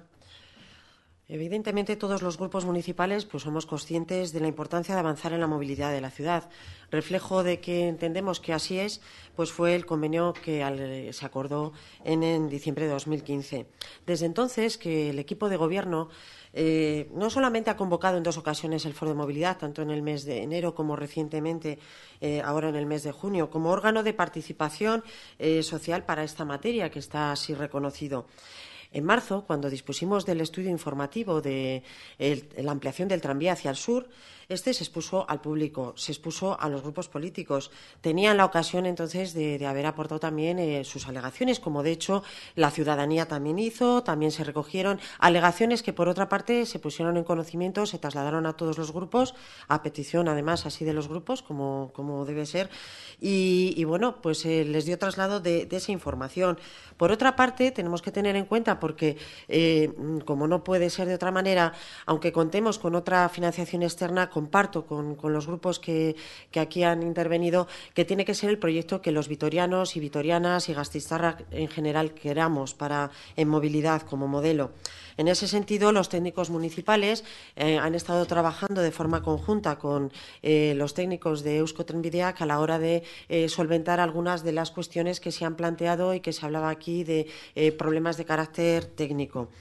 En este momento, bueno, pues es cierto que hay unos proyectos que están más avanzados que otros, como es el caso, como todos ya conocen, de la ampliación del tranvía hacia el sur o el estudio de eh, Salburúa, que si bien todavía no lo tenemos para su información pública, en breve se puede disponer y ya es un proyecto que está bastante avanzado. A nadie se nos escapa que estamos ante un proyecto de mucha envergadura, que es muy difícil acometerlo, disponer de todos esos proyectos de una manera simultánea, de una forma conjunta, como tampoco sería posible ni financiarlo de forma simultánea ni ejecutarlos de forma simultánea. Por eso es eh, el planteamiento que se hace de su ejecución y materialización en fases. Eh, en este momento, pues estamos ante la oportunidad, ante la oportunidad de continuar avanzando porque tenemos proyecto, tenemos una oportunidad de financiación. Eh, financiación a la que se aludía aquí, que es cierto, que eh, este equipo de gobierno ha reconocido que estamos en una situación económica delicada y que, bueno, pues cualquier eh, incremento hay que mirarlo y hay que cuidarlo. También es cierto que el problema fundamental de este ayuntamiento está en su financiación estructural. Para estos proyectos de inversión, en este caso, contamos con el apoyo de otras instituciones en una cuantía muy importante. Creo que no debemos dejar pasar la oportunidad de, efectivamente, utilizar esos recursos económicos que, hoy tenemos y que nos permiten avanzar. Eh, compartimos eso, que las soluciones pues, pues tienen que ser con los gastistarras, vitorianos y vitorianos. Yo creo que hay que acordar entre todos y todas que esta apuesta por avanzar en la movilidad no en esta apuesta, evidentemente, no podemos olvidar otros modelos que se han planteado de, movilidad, como puede ser el BRT o como puede ser eh, Arabatran. También hay que ponerlos en valor, también hay que considerarlos, también hay que tenerlos en cuenta. En definitiva, yo creo que podemos avanzar en la mejora de la movilidad y tenemos la oportunidad. No se trata solamente en estar de acuerdo en que sí, estamos ante un tema estratégico, sino que, que además hay que avanzarlo en fases, sino podemos dar el paso, podemos dar el paso y tenemos que hacerlo. Yo apelo a materializar acordando esta apuesta de, de avance y de ir dando pasos en lo que respecta a movilidad. Eskerrik asko Gonzalo Zazo Anderea, orain EH Budiora en txanda, Larrión Anderea, zurea da hitza. Bai, eskerrik asko jauna. Pues es cierto que la semana pasada en la Comisión de Hacienda todos los grupos pedíamos al Gobierno que retirase el expediente que nos presentaba porque seguíamos, porque pensábamos y seguimos pensando que este incumple el convenio que habíamos alcanzado por unanimidad entre todos los grupos. Pero también es cierto que el tema de la movilidad fue central en el debate de la ciudad de la semana pasada y creemos además que las decisiones en inversiones, incluidas evidentemente las inversiones de movilidad, tienen que estar bien pensadas, porque hemos visto demasiados casos en los que la construcción de un sistema no garantiza su uso y muchos han acabado siendo infrautilizados o directamente abandonados. Creemos en la movilidad sostenible y en su importancia para Vitoria-Gasteiz. Y también creemos que esta, esta, la del convenio, va a ser precisamente la decisión que va a condicionar el futuro de la ciudad, pero el futuro en su paisaje, en su desarrollo social y, desde luego, en su plan de inversiones. Eh, por lo que la toma eh, o el acuerdo del convenio para nosotros sin duda es fundamental. Fue la decisión más importante que hemos tomado y creemos además que tenemos que desarrollarlo.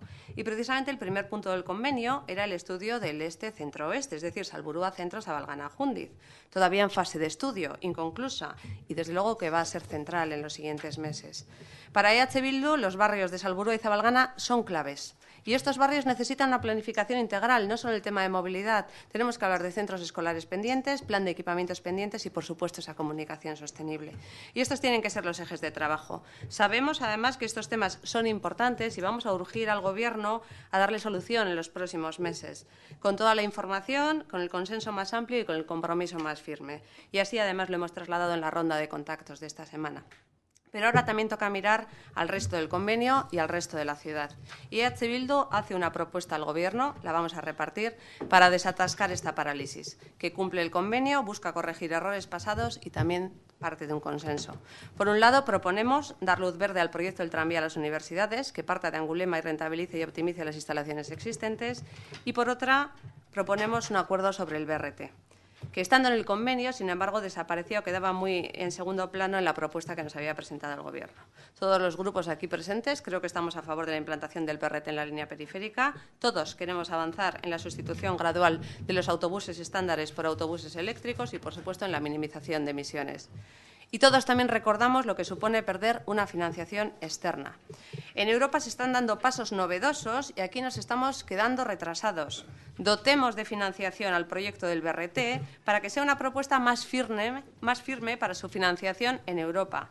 Porque queremos además dar un paso con este proyecto y también vamos a proponerle al Gobierno que se avance en lo que es la compra pública de innovación. Instamos o invitamos al Gobierno a explorar esta vía para que además, eh, para la cual además ofrecemos nuestra colaboración, porque si lo hacemos de esta manera también creemos que aumentaremos las probabilidades de financiación en Europa. Pero además, mediante este tipo también de planteamientos, aumentaremos la cantidad de puestos de trabajo que generará y la calidad de los mismos.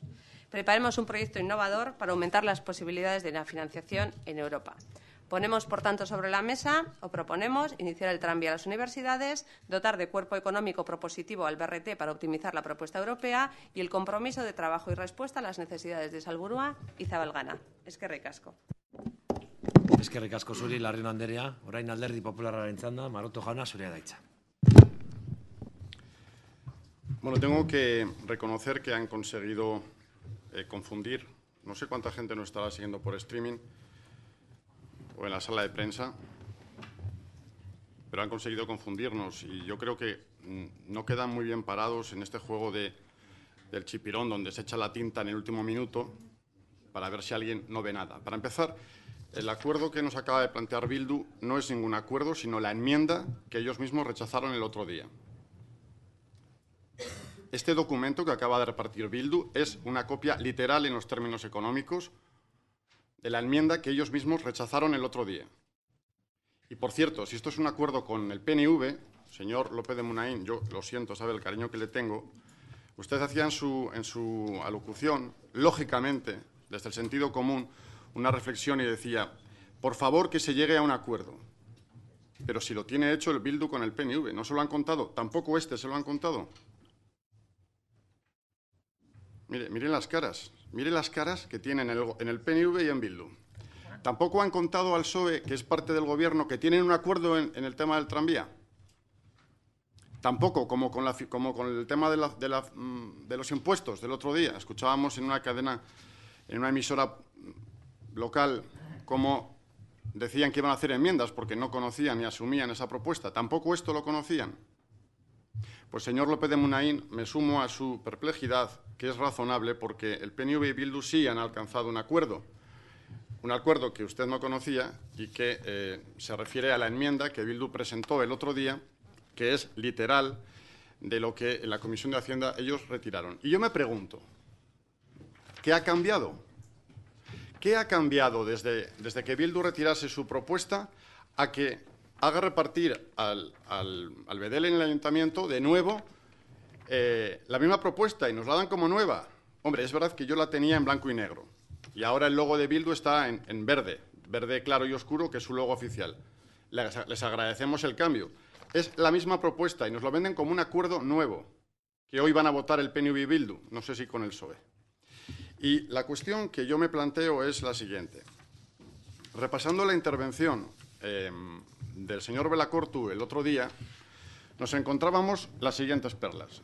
El señor Belacortu y yo tenemos una complicidad que es evidente, con lo cual ya, que, ya saben ustedes que voy a ser cariñoso con él.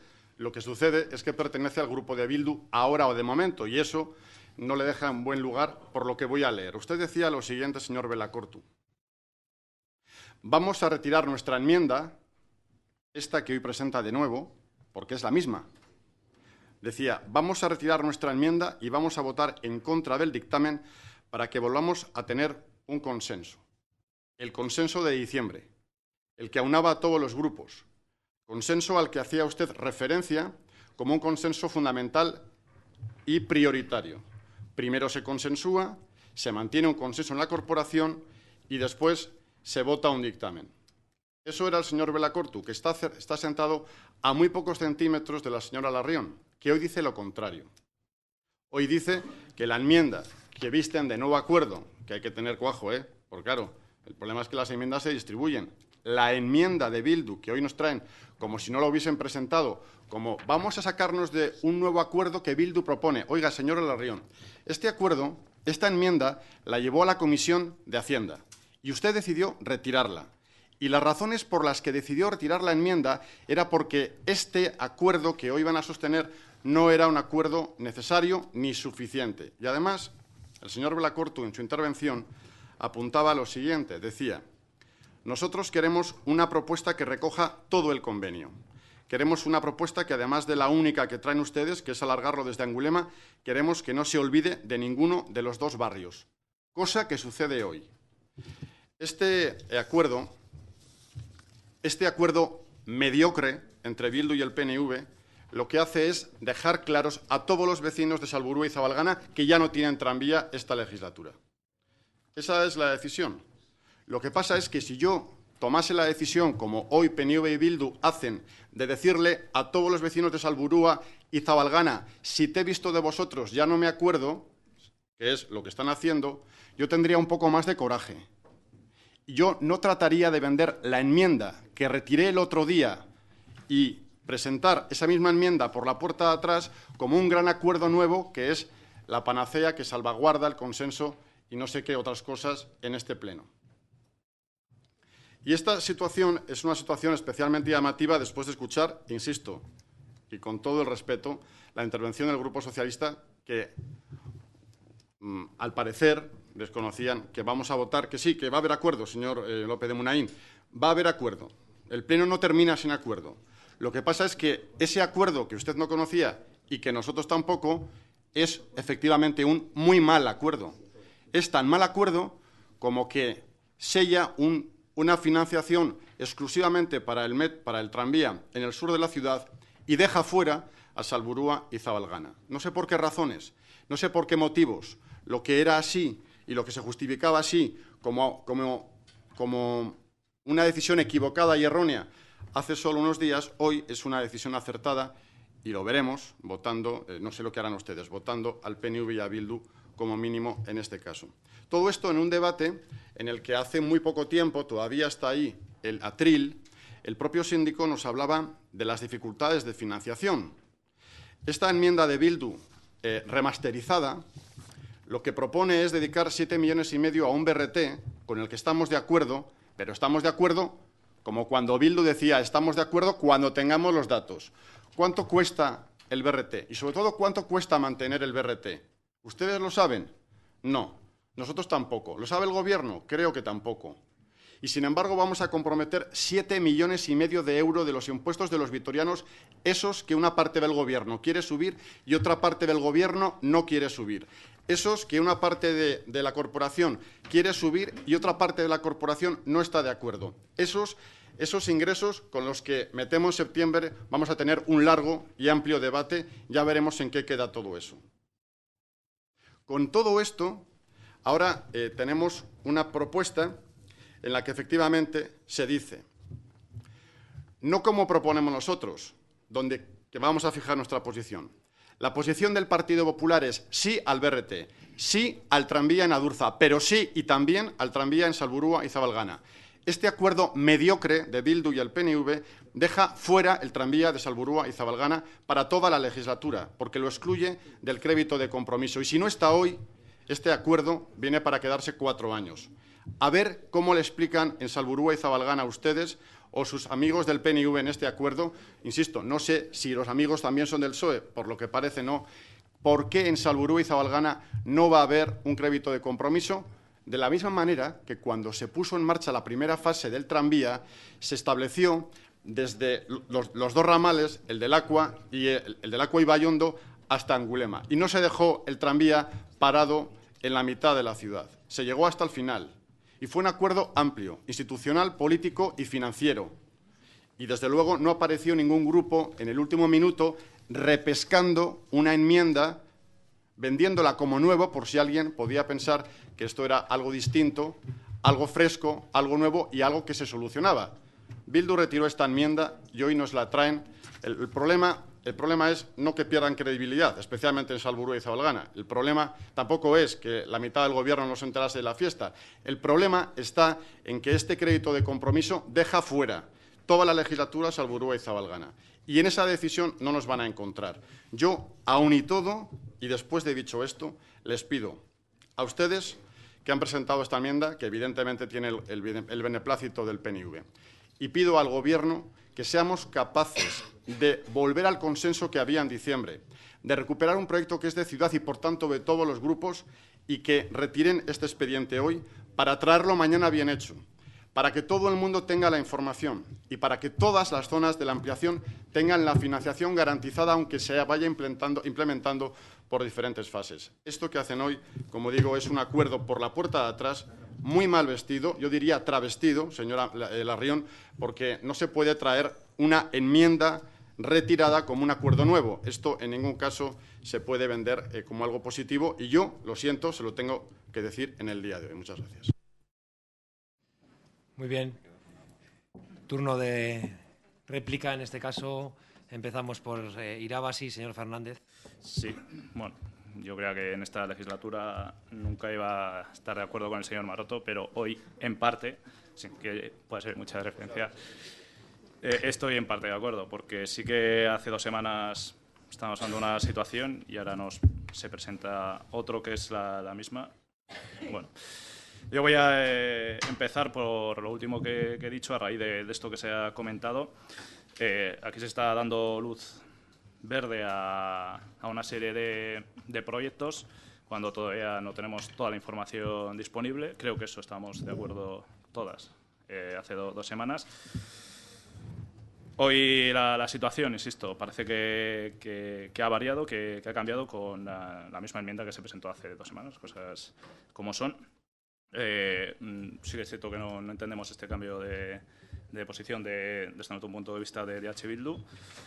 Aún así, bueno, pues lo que sí que queremos argumentar y argumentamos ¿no? Eh, es el tema de prioridades cuando se, habla de, eh, de proyectos. ¿no? Y aquí sí que es cierto que la apuesta por el BRT es una apuesta que creo que hay que dejar clara, que, en la que estamos partícipes todas y todos y que, bueno, pues en, lógicamente pues hay que, hay que potenciar, pero en, todo esto está el tema de las prioridades. Y en cuanto a las prioridades, había dejado claro, yo creía que eh, estaba claro, que la prioridad era la, conexión de los nuevos barrios, Salburúa y, y Zabalgana, cosa que con este acuerdo, pues efectivamente no, no, se refleja así. No, la prioridad ya no es los nuevos barrios, la prioridad son otros proyectos, son otros proyectos que, que, han venido por parte del Gobierno vasco y no de la ciudadanía de Vitoria-Gasteiz.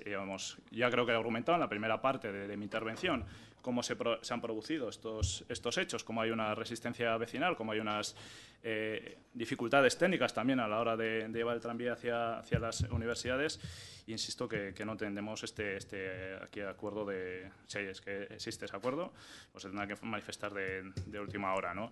Entendemos que, bueno, pues que hay otras prioridades, que esa conexión entre el este y oeste es la prioridad que, debería tener el pleno de, este ayuntamiento, cosa que si esta enmienda sale adelante, pues no sería así y entendemos que, es una mala noticia ¿no? para, para, esta eh, ciudad. También cuando hablamos de prioridades, hablamos de prioridades económicas ¿no? y ahí más o menos mm, la señora Gonzalo me ha dado algo, algo de razón ¿no? con las prioridades económicas. Y cuando hablamos de prioridades económicas, tenemos que destinar este proyecto del tranvía del sur, por ejemplo, si no me que, me, corrija, de los 17 millones, 2 millones tiene que aportar el, ayuntamiento aproximadamente. son 2 millones de, euros que se puede destinar a otros proyectos de, movilidad de, esta ciudad.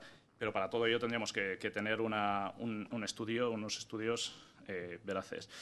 Y yo, por, concluir, eh, parece ser que, la, prioridad aquí ya se, se, está marcando. La prioridad es un, tranvía al sur donde, eh, insisto, hay vecinas y vecinos que, no están de acuerdo, que hay dificultades, bueno, dificultades, eh, o más dificultades técnicas por la de, de, algunas calles y sobre todo porque en cuanto a movilidad insisto, ¿no? y la, palabra que estoy utilizando mucho es la, prioridad, pero creo que había prioridades. Nos, no, nos satisface, seguiremos votando en, contra, en cuyo caso, de, esta enmienda eh, presentada.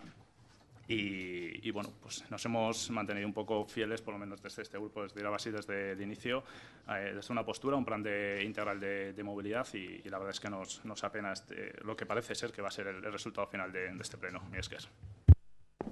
Esker zuri, Fernández jauna, orain Podemos en txanda, inojal jauna zure daitza. Eh, muchas gracias. Lo primero, lamentar las formas. Creo que el primer gran proyecto de la ciudad, que en esta legislatura se puede, se puede aprobar, va a ser aprobado con una enmienda in voce. Es absolutamente surrealista. Una enmienda que no ha podido ser estudiada, una enmienda que no ha podido ser hablada, eh, una enmienda que se presenta cinco minutos antes de, de, poder, ser, de poder ser debatida. Eh, yo estoy en, bueno, yo creo que hay que darle la razón tanto al señor Fernández como al señor Marto, pero tengo una pequeña diferencia.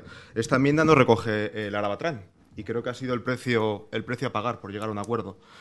Nos han vendido como que esto es, esto es el futuro, esto es innovación, esto es esto es priorizar el proyecto de H. Bildu Arabatran frente a otros proyectos, porque se olvidan de, Zabalgana y Salburua, porque el proyecto que tiene H. Bildu es el Arabatran para Zabalgana y Salburua. Eh, proyecto que no es incompatible con el tranvía, con la llegada de la movilidad sostenible a esos dos, a esos dos barrios. Eh, y también gestionar es, priorizar y es gastar adecuadamente. Y vemos que la prioridad de gasto es el, BRT, con el que nos comprometemos con 7 millones y medio. BRT que va a sustituir, con el que nosotros estamos de acuerdo, no, no lo tomen no lo tomen por donde es, eh, eh, que, va, que va a costar 7 millones y medio, BRT que la línea periférica de Tuvisa, que da servicio, el mismo servicio que quiere sustituir con el BRT, según el informe, dice que es un servicio correcto, eh, que en picos faltarían 7 plazas para los autobuses y debe ser la prioridad, esas 7 plazas de los autobuses de Tuvisa, sustituirlas por el BRT gastando 7 millones y medio comprometidos, porque no sabemos cuánto va a costar, porque no hay un solo informe que nos diga cuánto va a costar. Lo dijo usted, señor Larrión, en el debate de Estado Ciudad, que no sabíamos cuánto nos va a costar y hoy nos quiere hacer pagar, pagar por él. Eh, de Zabalgana y de nos, nos, olvidamos. Evidentemente, no son barrios que no parece que no, no importan y no están recogidos en este, en este acuerdo. Y creo que de las buenas palabras hay que llegar a los hechos. Yo en el debate del Estado de la Ciudad recibí muy buenas palabras del señor Hurtana, las cuales agradezco, y creo que fueron sinceras. Prefiero que sean hechos. Prefiero que cuando un proyecto de ciudad sea importante para todos, todos podamos participar.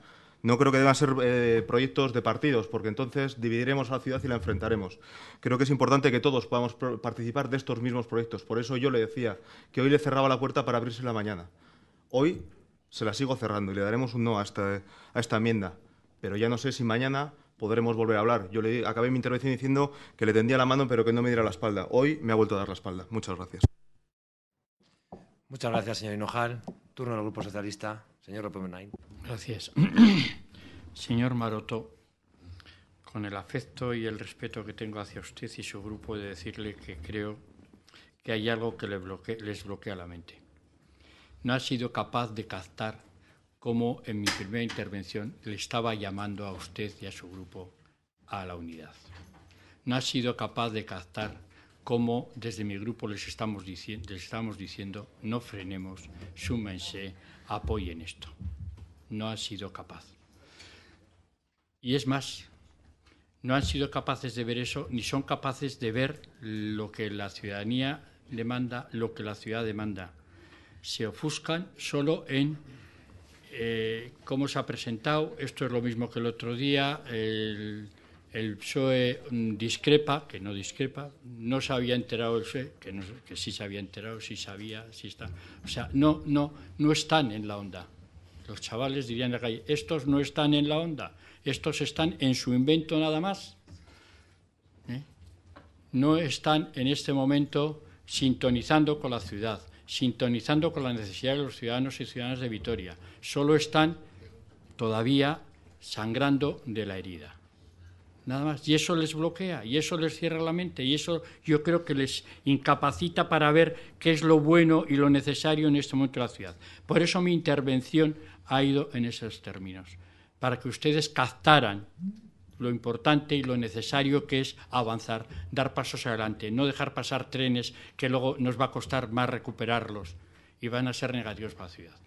Por lo tanto, señor Maroto, Grupo Municipal del Partido Popular, hagan el ejercicio que tengan que hacer, pero por favor vuelvan a trabajar por lo que la ciudad realmente necesita, por lo que los ciudadanos están demandando, dejen ya esa situación, que yo entiendo que hay un tiempo de duelo y que creo que ya lo tenían que haber pasado, pero que eso no les esté incapacitando, imposibilitando para ver cómo la ciudad tiene que avanzar y cómo va inevitablemente, porque los ciudadanos y ciudadanas van avanzando en la sostenibilidad, van avanzando en la movilidad, van avanzando en la modernidad, y nosotros tenemos que ser los que abanderemos este movimiento y los que vayamos por delante. Por lo tanto, todo lo que usted ha dicho, pues yo lo he recepcionado simplemente desde el dolor de esa herida que todavía le sangra.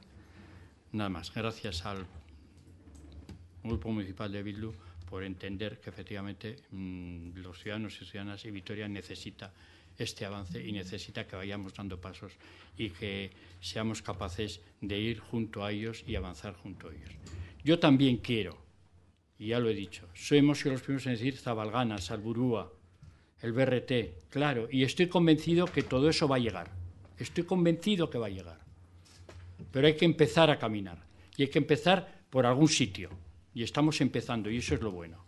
Lo otro irá viniendo y a mí yo hay compromisos por parte de los que van con nosotros este viaje, Diputación, Gobierno etcétera, de que todo eso va a llegar. Y yo me lo creo, porque yo parto de la base de que todos queremos lo mejor para Vitoria. ¿eh? Por lo tanto, hay un voto de, de, de, confianza en este sentido que mi grupo lo da y, como digo, le agradezco a Bildu que también lo haya, haya dado paso. Gracias. Muchas gracias a usted, señor López de Munain. Turno del Grupo Nacionalista, señora González. que señor Jaunal. La verdad es que me da un poco lástima ver la actitud de, de algún grupo político en, en esta cuestión porque así como efectivamente las intervenciones, yo creo, de, otros grupos, eh, pues bueno, en alguna línea, aun estando en ciertos aspectos de acuerdo con su posicionamiento, señor Maroto, pues eh, desde luego no, no, denotan la crispación que denota la suya. Siento que, que le dé lástima que la ciudad pueda avanzar, siento que le parezca pues que haya perdido cierto protagonismo en esta materia y que la ciudad pueda avanzar también sin usted. Eh, lo siento. Terminaba mi primera intervención señalando que en esta apuesta por la movilidad no podemos olvidar el BRT y que debemos valorar a Batrán.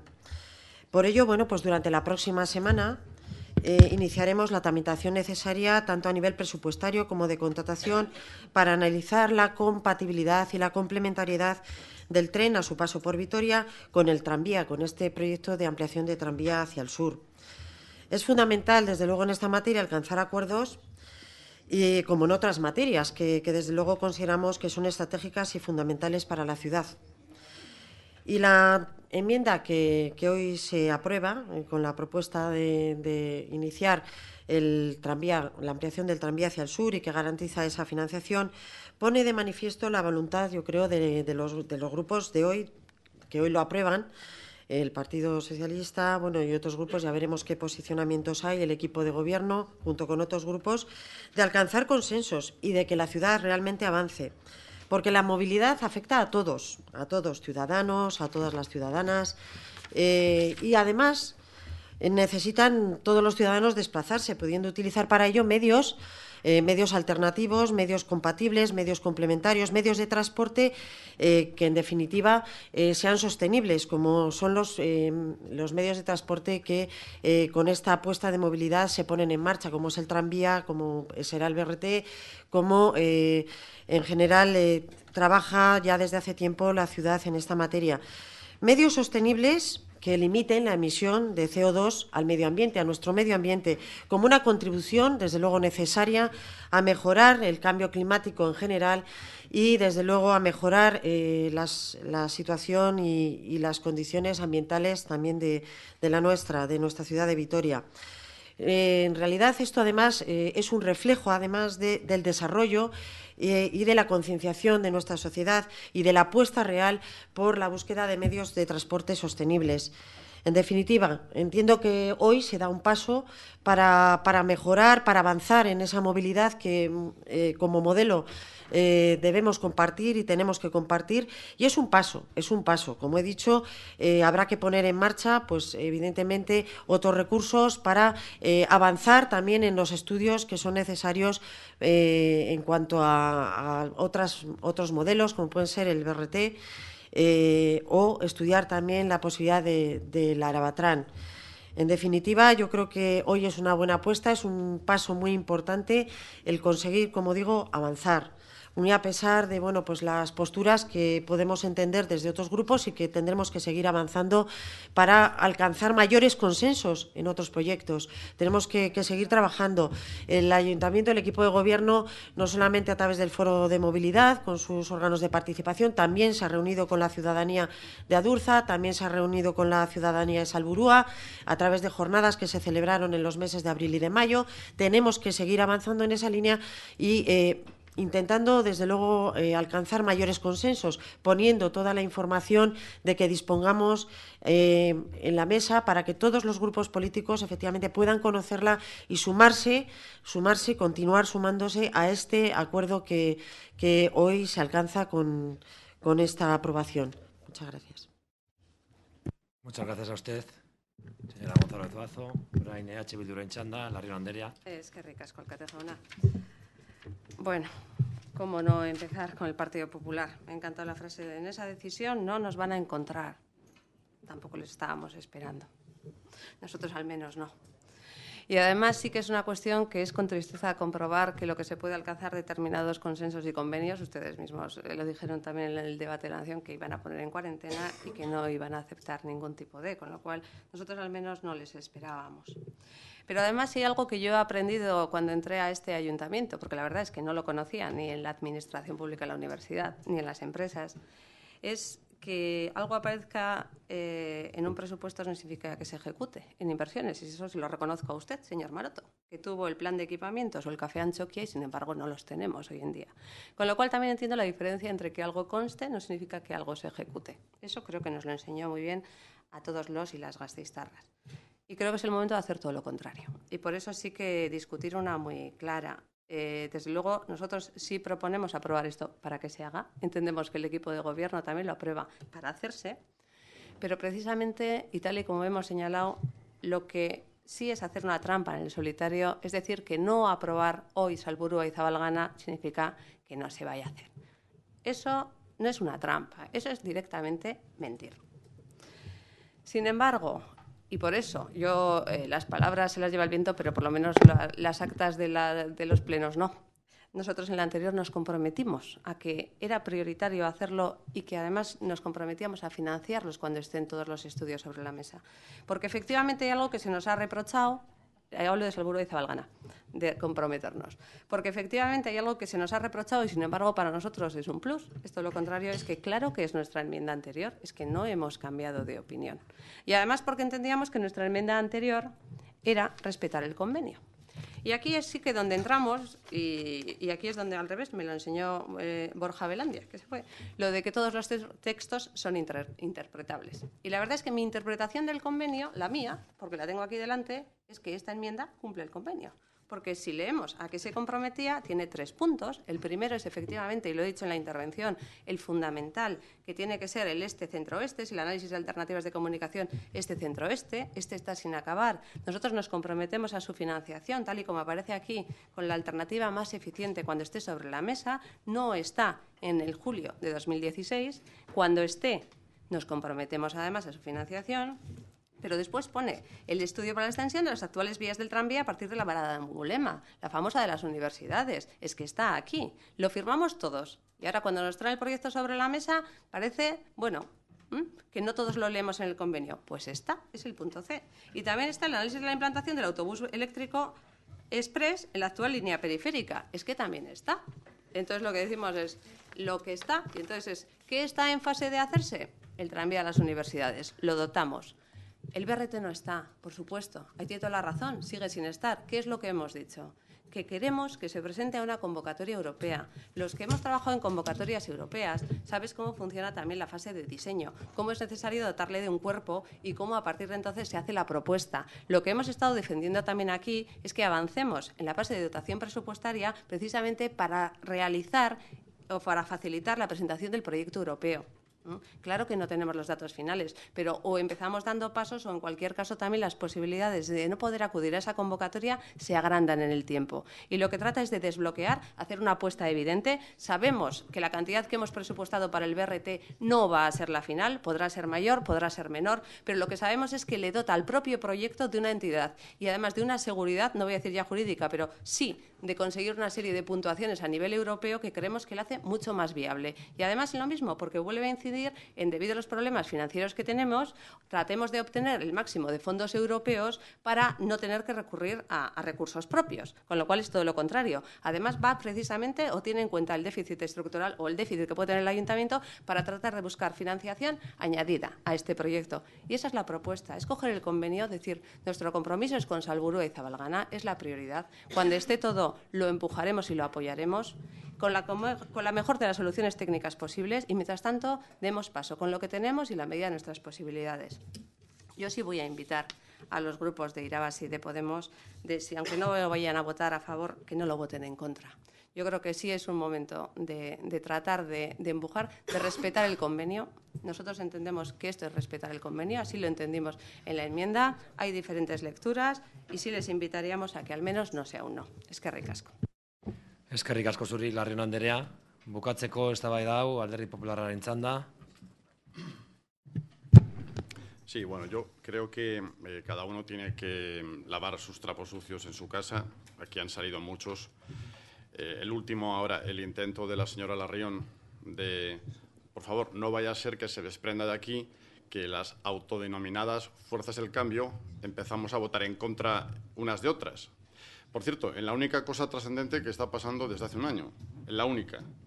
Y yo sé que a la señora Larrión le duele en el alma que hoy podemos ir a ver si voten distinto que Bildu le duele en el alma, claro, porque se le, acaba ese discurso de no, las fuerzas del cambio aquí era todos contra el PP. No, es todos contra el sentido común. Porque aunque yo tampoco lo he dicho muchas veces, señor Fernández o señor Enojal, pues estamos de acuerdo. Lo que no puede ser es que te hagan aquí un pase torero, te cuele una enmienda como, una, una enmienda vieja del cajón, como si fuera algo nuevo, salen unos rescatadores de no sé qué acuerdo y ahora viene la otra parte la otra parte de los trapos sucios donde efectivamente creo que lo tienen que lavar. Nos equivocamos nosotros del Partido Popular cuando escuchamos mm, al Partido Socialista antes de ayer o ayer mismo en una cadena eh, de radio local decir que el acuerdo fiscal presentado por el señor Urtarán no era su acuerdo. ¿Nos equivocamos? ¿También nos lo inventamos? ¿O es que estamos, oímos eso porque nos sale el olor de no sé qué herida? No, ¿verdad? Creo que era usted mismo, ¿no? Decía, eso no será la propuesta del Gobierno, será del Departamento de Hacienda. Y presentaremos enmiendas. O sea, que no se enteraron, vamos, que no se lo contaron. Y es normal que alguien del Gobierno que no se entera de lo que hace el Gobierno, pues haga enmiendas. Entonces, yo, eh, como sabe que el cariño y el respeto es mutuo, yo no voy a andar en la herida, ni voy a profundizar en la herida.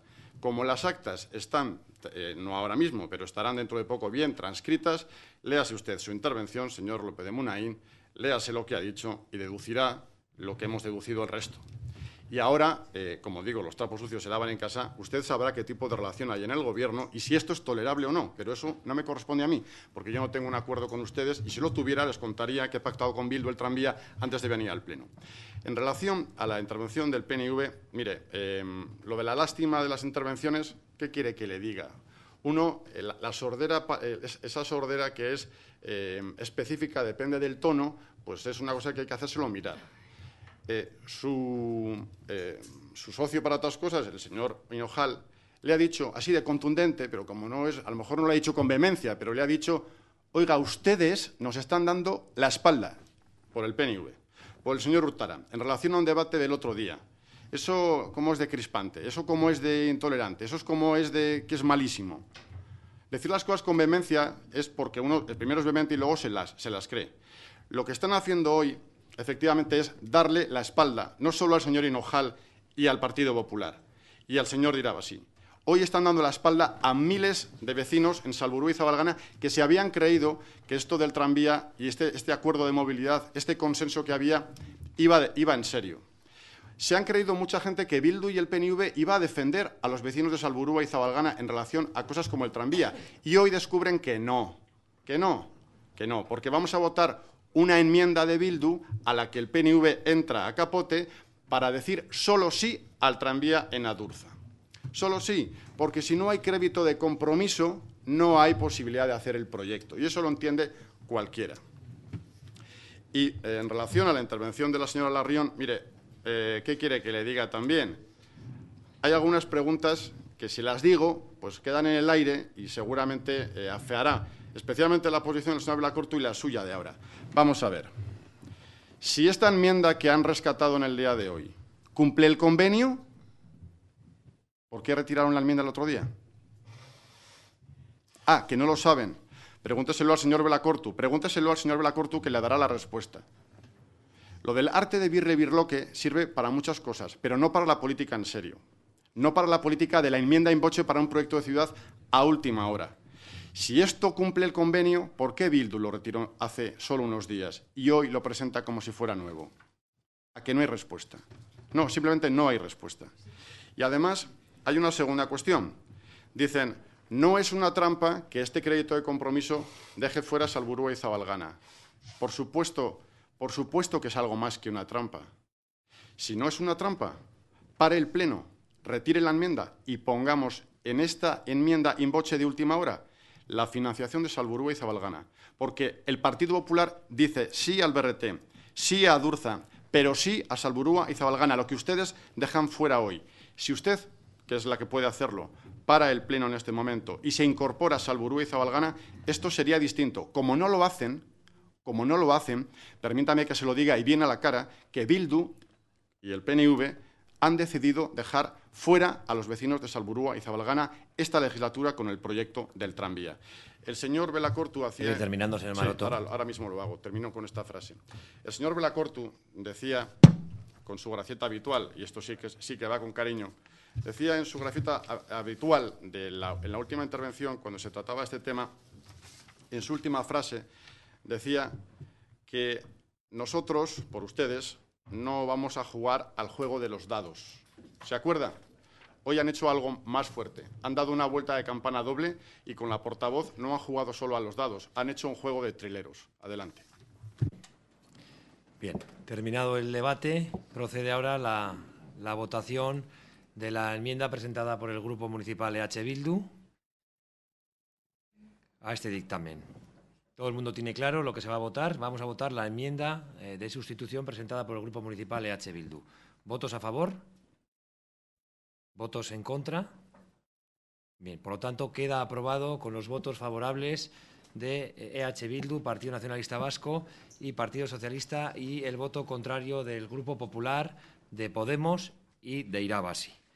Y ahora, si no me equivoco, señora secretaria general, tendríamos que votar el expediente conforme a eh, la enmienda de sustitución presentada, presentada en estos momentos. Vamos a ver, si la enmienda de sustitución incluye la sustitución de la totalidad de los puntos, pues no hay nada más que votar. Vale, perfecto. Por lo tanto, se da por, se da por aprobado este expediente. Bien, pasamos al siguiente punto del orden del día, el que hace el primero en, eh, en, la, en la convocatoria, aprobación inicial de la modificación del presupuesto mediante transferencia de crédito para la firma de un convenio de colaboración entre el Ayuntamiento de Vitoria, Gasteiz, la Diputación Foral de Álava y el Parque Tecnológico de Álava para el transporte de viajeros. ¿Hay intervenciones al respecto de este expediente por parte de Irabasi no, por parte del Grupo Podemos? Tampoco hay. Por parte del Grupo Socialista tampoco. Por parte del Grupo Nacionalista. Señora Gonzalo de Pazo. Bueno, en relación a este expediente de modificación presupuestaria, recordar únicamente que la finalidad de, del mismo es dotar eh, presupuestariamente en una cantidad suficiente que permita mantener eh, el transporte eh, de los trabajadores que habitualmente se desplazan al Parque Tecnológico de Álava y a través de un convenio que, en el que participa en su financiación también la Diputación Foral de Álava con otro importe de la misma cuantía y eh, la entidad urbanística de conservación que gestiona el transporte de, los trabajadores de, a, este parque. Es cierto, nosotros como, como administración y como entidad local tendríamos que dar un transporte público al parque tecnológico y entendemos que esta fórmula eh, eh, responde de forma mucho más adecuada a las necesidades y a la calidad de los trabajadores que habitualmente se desplazan allá eh, y de una forma que es sostenible económicamente para eh, las administraciones que cofinanciamos y para eh, también el, el, los propios gestores del parque. Es que ricasco. Por parte del Grupo H. Bildu, ez dago interbentziorik, alderdi popularren aldetik ere ez. Beraz, boskatzea goaz, eh, aldeko botoak, kontrako botoak, Beraz, onartzen da, EH Bildu, e, Eusko Alderri Jeltzalea, Alderri Sozialista, Podemos eta Irabaziren aldeko botoekin, eta Alderdi Popularraren kontrako botoarekin.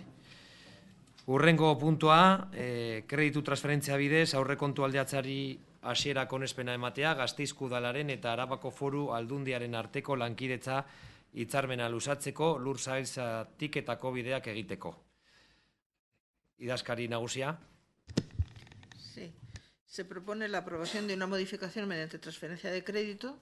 Cedería a crédito la partida de aportaciones a Tuvisa y lo recibe la de subvención a Diputación Foral Mejora de Caminos Parcelarios, por importe de 50.000 euros. Interbentziorik?